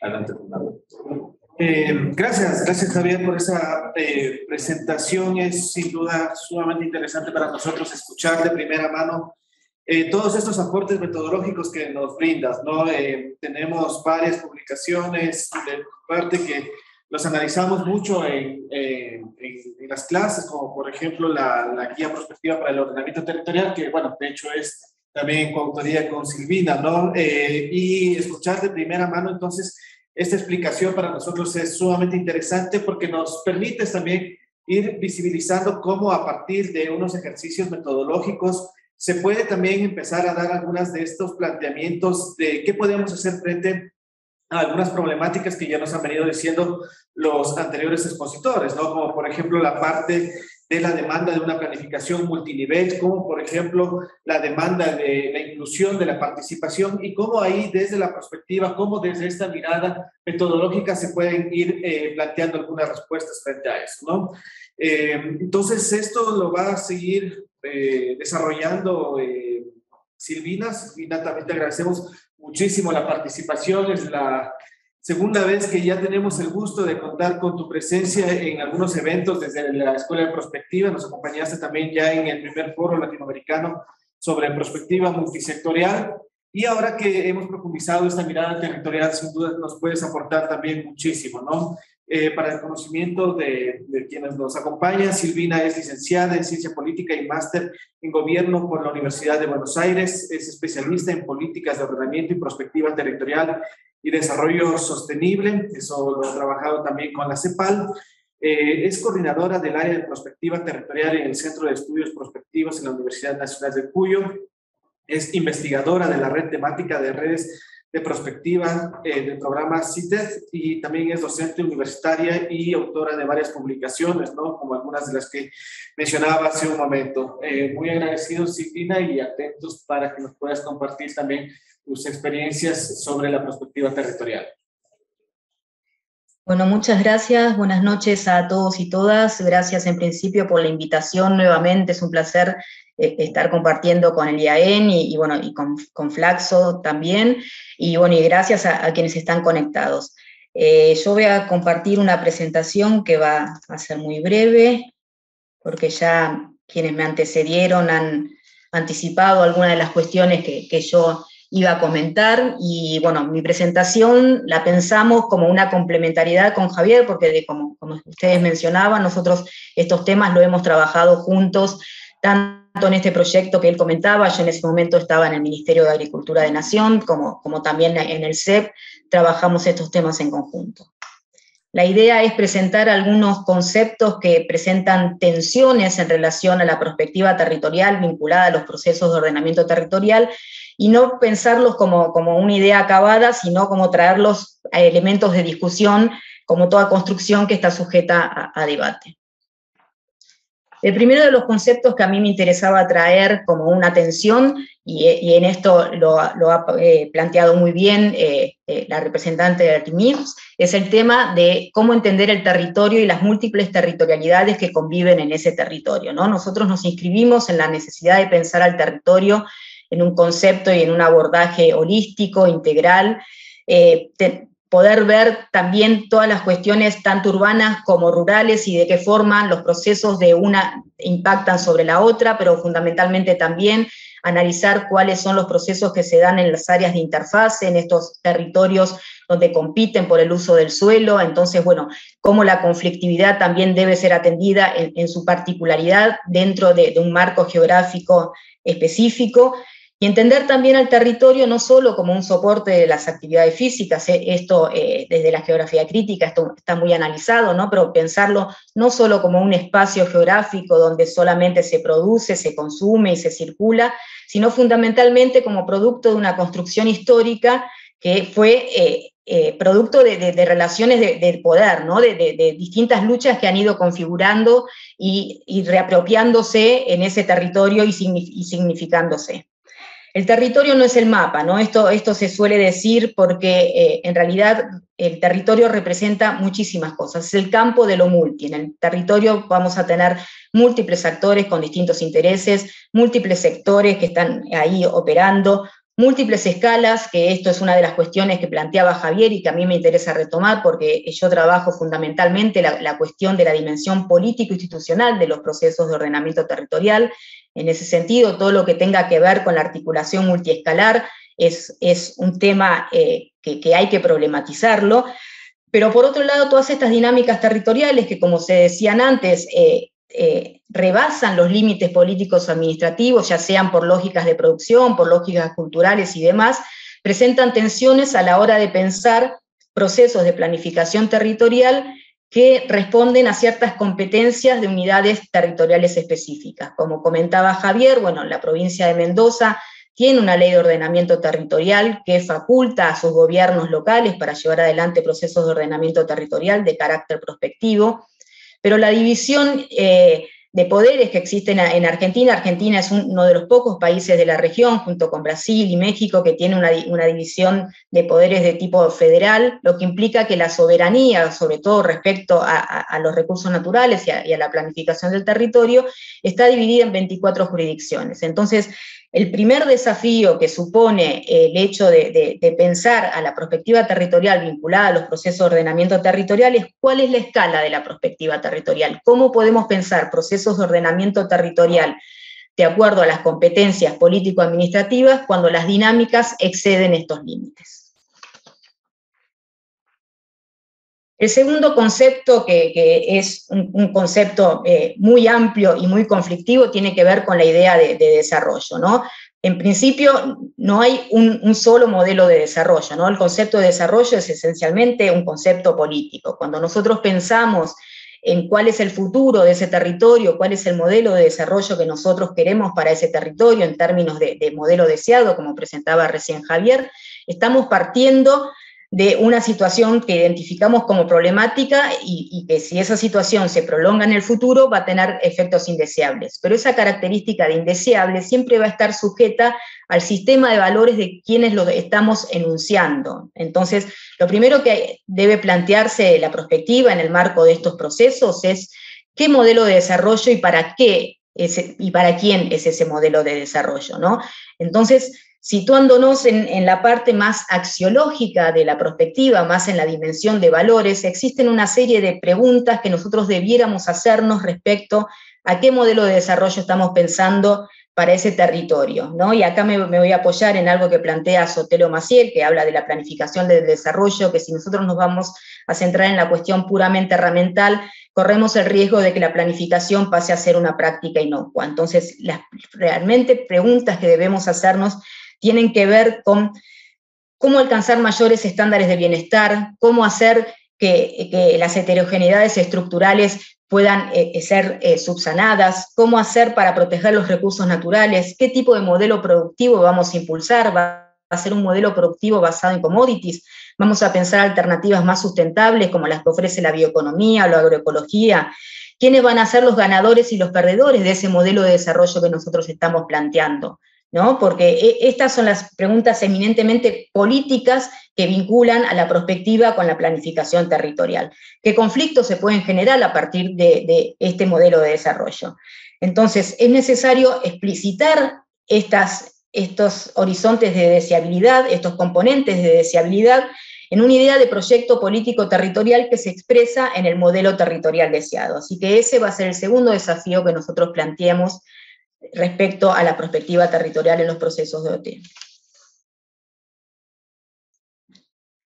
El tercer componente refiere al futuro, que es el componente eminentemente distintivo de la perspectiva. ¿no? La, la opera sobre la incertidumbre acerca de ese futuro y a partir de ciertas técnicas y, métodos, como comentaba Javier, la perspectiva tiene muchos métodos y técnicas para, para poder eh, trabajar sobre esta incertidumbre de, futuro, bueno, poder identificar aquellos futuros que sean posibles y deseables, ¿no? Con, estos dos elementos, porque no, no solo como eh, nuestros eh, conferencistas anteriores lo, han repetido y muy ciertamente que esto no se trata de hacer una lista de Papá Noel, sino pensar aquellos elementos que puedan ser deseables para ese territorio, para esa sociedad, pero que a su vez puedan ser posibles. Para eso hace faltan dos elementos que no debe faltar ninguno. Uno tiene que ver con la, participación, ¿no? La Escuela de la Previsión Humana y Social de Leonora Massini propone la construcción social de futuros como un acto de voluntad, ¿no? Como que no tomar el futuro como dado, sino que nosotros somos artífices de ese futuro, porque si nosotros no pensamos ese futuro, somos pensados por alguien más. Pero a su vez hay toda una dimensión ética y de valores respecto a ese futuro que tiene que ver con pensar en el bien común, en el bien público, en la solidaridad. Hay una responsabilidad del prospectivista a la hora de pensar ese futuro.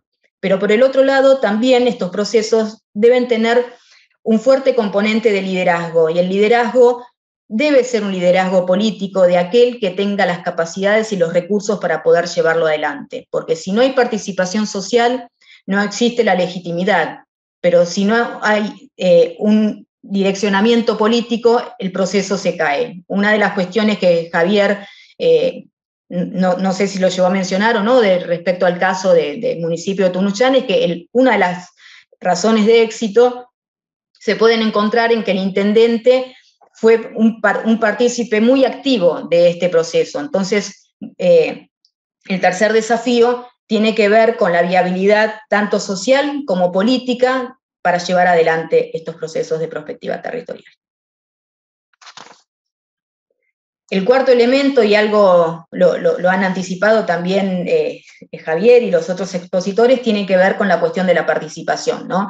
Cada vez más las políticas públicas incorporan mecanismos de participación, no solamente por, las demandas sociales de, formar parte de estos procesos, sino también porque han ido cambiando los modelos de gestión pública y se han ido ampliando las instancias participativas, algunos en, todas las partes del ciclo de política pública, otras solamente en la parte de la identificación de problemas, pero lo cierto es que cada vez más existen espacios de participación. Pero lo que nosotros queríamos traer aquí es que eh, hay que poner en cuestión la idea de, la participación como, como, naturalizando las bondades per se. Los procesos de participación constituyen en sí mismos también una forma de disputas de poder. Si nosotros no eh, transparentamos estas cuestiones en los procesos participativos, lo que vamos a hacer es reproducir las mismas lógicas asimétricas que se dan en la sociedad. ¿no? Si volvemos a la idea de entender al territorio como una construcción social, política y económica, donde se producen y se reproducen todas estas eh, relaciones sociales y, conflictivas, bueno, se van a seguir reproduciendo en, ámbitos de participación porque los actores no tienen los mismos recursos, no tienen los mismos recursos ni, materiales, ni simbólicos, ni culturales para poder participar en esos espacios. Entonces lo que se van a generar son élites participativas muy informadas, muy movilizadas y la exclusión de aquellos grupos que están menos organizados. Entonces el cuarto desafío referido a la perspectiva territorial es pensar instancias de involucramiento reales y democráticas de toda la ciudadanía. El quinto elemento, y, ahí es, como el espacio donde eh, más me interesa profundizar, es eh, en, las políticas públicas y la planificación.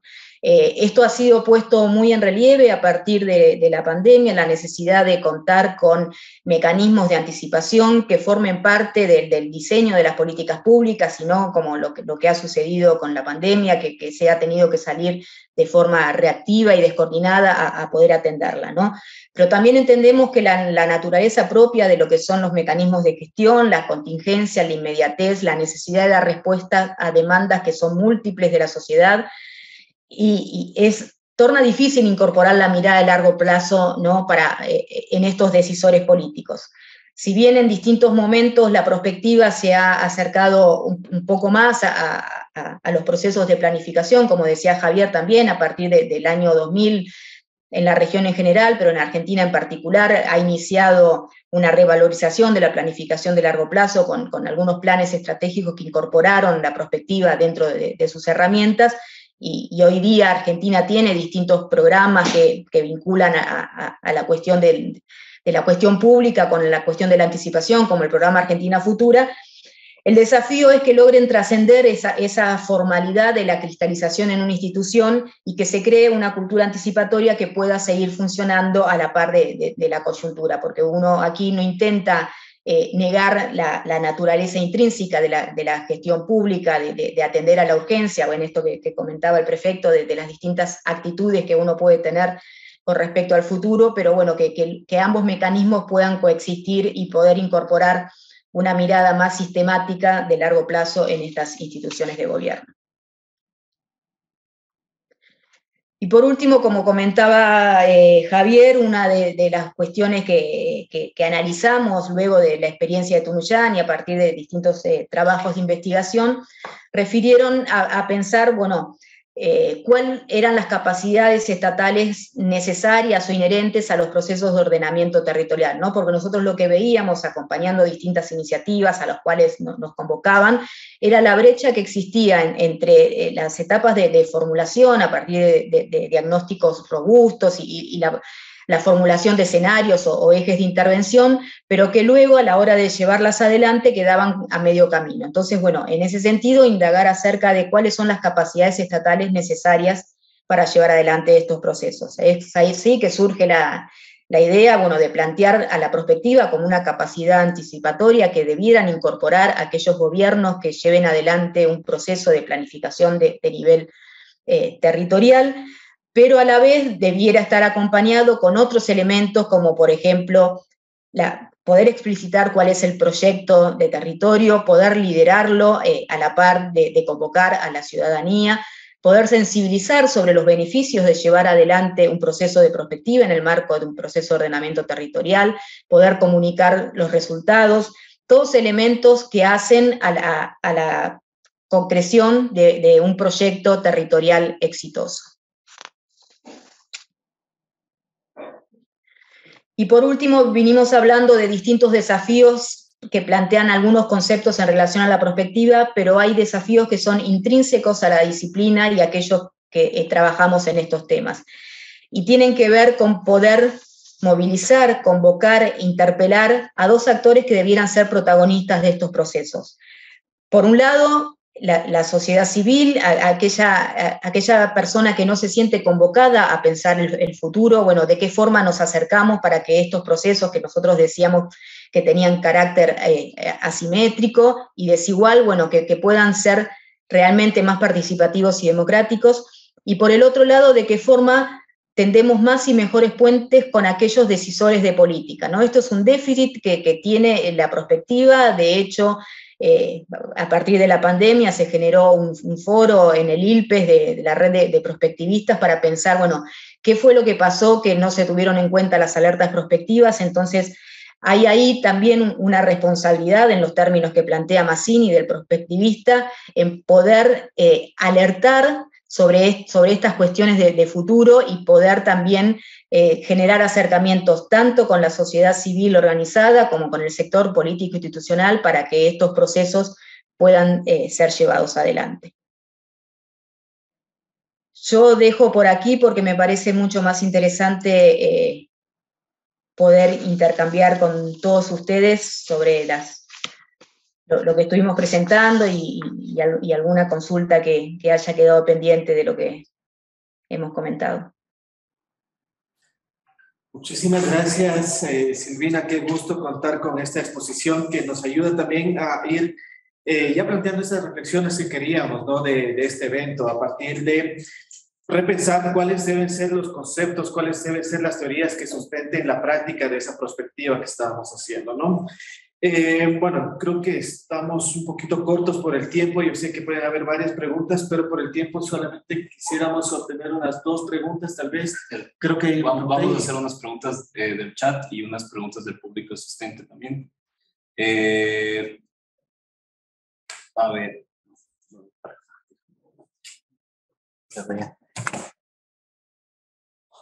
Mientras Diego selecciona una de las preguntas, de ahí también si alguien tal vez aquí presencialmente tiene alguna pregunta ya, eh, muy cortita, justo por el tiempo, disculpa que les cortemos.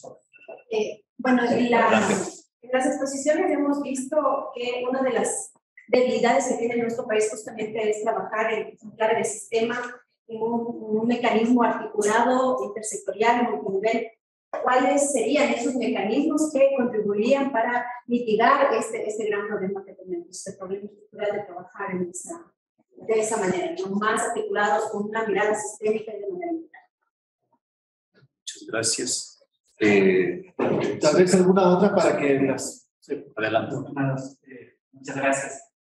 Eh, algo que señalaba Javier, ¿no? Eh, en Argentina se estaba dando todo este movimiento alrededor de esta idea de recuperación de lo público, del posicionamiento del Estado como liderazgo de todos estos procesos. Eh, yo quería preguntar de qué manera esto se, se conjunta o, o se corresponde con esta idea de construcción de futuro desde abajo, que es un poco lo que se estaba planteando. Es decir, ¿Hasta dónde no terminamos haciendo ejercicios que solamente apuntan a exigir al Estado que cumpla ciertos roles o a que se construyan políticas públicas en último término y no tanto a la acción de construcción de futuro que es lo que nos plantea Leonora Massini y toda la línea incluso de, de perspectiva francesa, etcétera, ¿no? ¿Hasta dónde esta recuperación del poder del Estado eh, no deja a los actores como simplemente, eh, no, no, voy a decir como ya se dijo aquí, eh, los que están haciendo la lista de Papá Noel, pero sí un poco como los solo de los demandantes y no necesariamente como actores de la construcción de. Gracias. Tal vez alguna final. ¿No? Si no podemos dar paso. Podemos dar paso a, la, a la respuesta a la primera pregunta, tal vez el señor prefecto. Bueno, eh, la verdad es que es ocasional cuando el gobierno eh, ha tomado la iniciativa de intentar una articulación, eh, digamos, interniveles ¿no? de, de, de gobierno. Uh, al final, el, el, el gobierno, no el actual ni, ni los anteriores, en general, el Estado, el gobierno, ha ejecutado su propia planificación y deja que los niveles subnacionales, llámese provinciales o municipales, incluso parroquiales, hagan su propia planificación. No se ha buscado esa articulación entre los diferentes niveles de gobierno, esa es la verdad. Y creo que esa es una tarea pendiente para que se articule adecuadamente la planificación y permita eh, tener la adecuada coordinación y, y no solo, no solo eh, como planificación, sino como acciones a adoptar debidamente articuladas. Javier, tal vez la segunda. La segunda pregunta, tal vez Javier, ¿quieres? quieres bueno, sí, sí, por supuesto. A ver, eh, sumamente interesante la, la pregunta y, y, y, da lugar para otra, o, otra charla. Porque, a ver, ahí quisiera como recuperar dos cuestiones. Por un lado, digo, obviamente lo que más conozco es Argentina y, y, y me voy a centrar en, en, la experiencia, pero básicamente ahí hay dos tensiones. Por un lado, que si bien los países de Argentina y de América Latina somos países democráticos, no tenemos una cultura de la participación.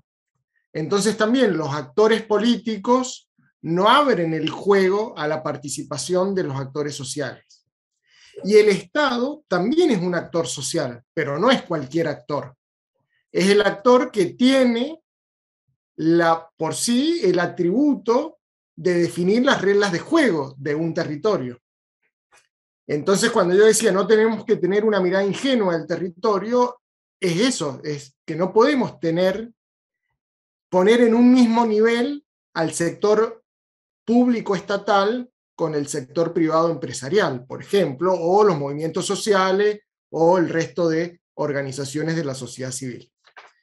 Y la segunda tensión que se genera, yo no conozco la constitución de Ecuador, pero en la constitución argentina dice que el pueblo no delibera ni gobierna, sino que lo hace a través de sus representantes. Entonces, los sistemas representativos de gobierno también se ponen en tensión en estos nuevos enfoques de la gestión pública que amplían la base de participación y suman a los actores sociales a la cogestión o a la gestión asociada de los gobiernos. Bueno, también ahí la arquitectura institucional de nuestros estados no está adecuada, adornada, actualizada a las necesidades y demandas que tiene la ciudadanía, que es querer eh, tener mayor responsabilidad en la cuestión pública.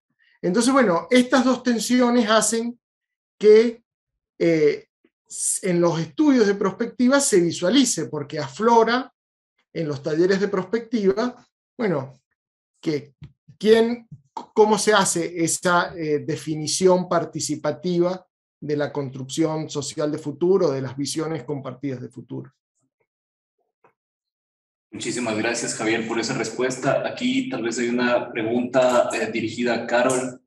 Eh, dice, buenas tardes. Eh, en el marco del, desarrollo de los territorios rurales, ¿se han propuesto e implementado políticas para la inclusión tecnológica a las poblaciones vulnerables con el objetivo de reducir la brecha digital que se evidenció durante la pandemia, principalmente en zonas rurales del país, considerando que la tecnología es parte del desarrollo territorial?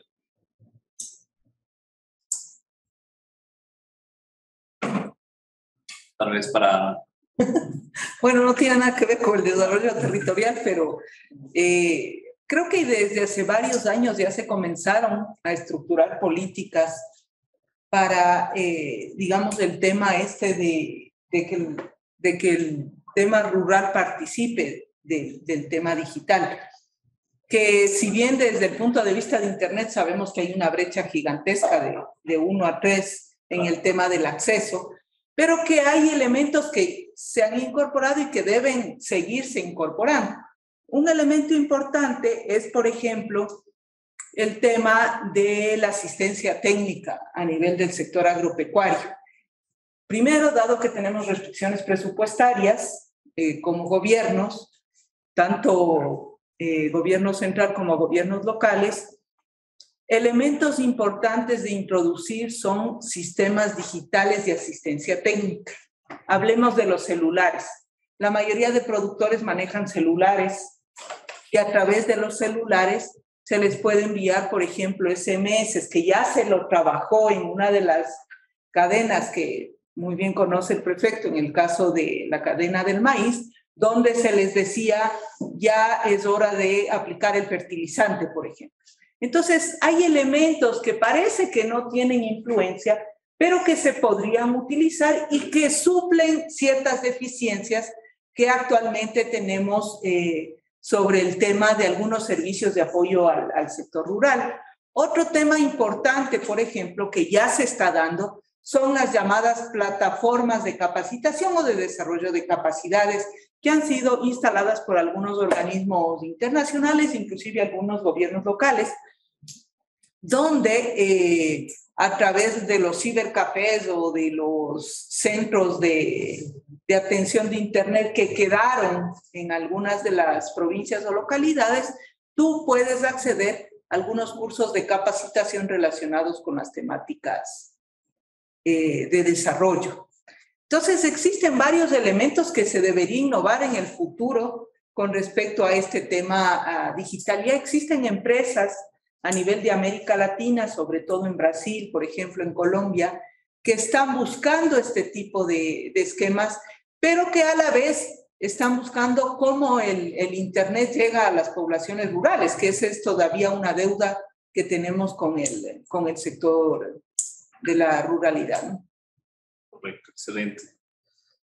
Fernando, tal vez. Bueno, no, más bien eh, para agradecer la presencia de todas y todos, para agradecer a la presencia de nuestros ponentes. Cuando habíamos eh, planteado la organización de este evento, nos preguntábamos ¿no? sobre justamente cuáles son esos desafíos de la perspectiva territorial, cómo ha ido cambiando, cómo ha ido mutando, y las ponencias nos han ido confirmando que estamos frente a una temática que está eh, totalmente en cambio, ¿no? es una temática que es dinámica a la par de los territorios, ¿no? es decir, eh, vemos que es un elemento, es la rama, un campo en el cual necesitamos seguir innovando. Necesitamos seguir innovando tanto desde esa mirada de los conocimientos, es decir, cómo incluso desde algunos elementos conceptuales nosotros consideramos o cómo nos aproximamos algunos de estos conceptos, ¿no? Como por ejemplo el territorio, como por ejemplo la perspectiva en sí. Cuando nosotros vamos aproximándonos a unas nuevas realidades, tenemos que ir también cambiando esos conceptos. Entonces, a partir de eso, también tenemos una capacidad de ir modificando metodologías, de ir modificando las prácticas también, cómo realizamos esa participación ciudadana, que es un desafío, ¿no? Si bien ya decimos, y tal vez todos estamos convencidos de que es importante eh, realizar ejercicios mucho más participativos, todavía en la parte metodológica tenemos unas grandes dificultades, ¿no? Entonces, todos estos elementos nos llevan a la necesidad de seguir profundizando esas reflexiones y seguro tendremos nuevos eventos en los cuales podremos seguir planteando nuevas ideas, planteando cómo en algunos casos se ha ido avanzando, ¿cierto? También articulando reflexiones con algunos otros espacios a nivel internacional que tal vez ya han tenido otras experiencias sobre estas temáticas, lo cual va a ir solidificando el conocimiento, ¿no? De nuestra parte agradecemos muchísimo a las instituciones que nos han aportado, al Congope, al REMIRS, a Flaxo. Eh, vamos a seguir con esta serie de eventos y también a todos ustedes que nos sigan acompañando y sigamos generando estos conocimientos en conjunto para el beneficio de todas y todos. ¿no? Muchísimas, gracias. gracias. Gracias. Les invitamos a... Muy bien, muchas gracias. muchas gracias.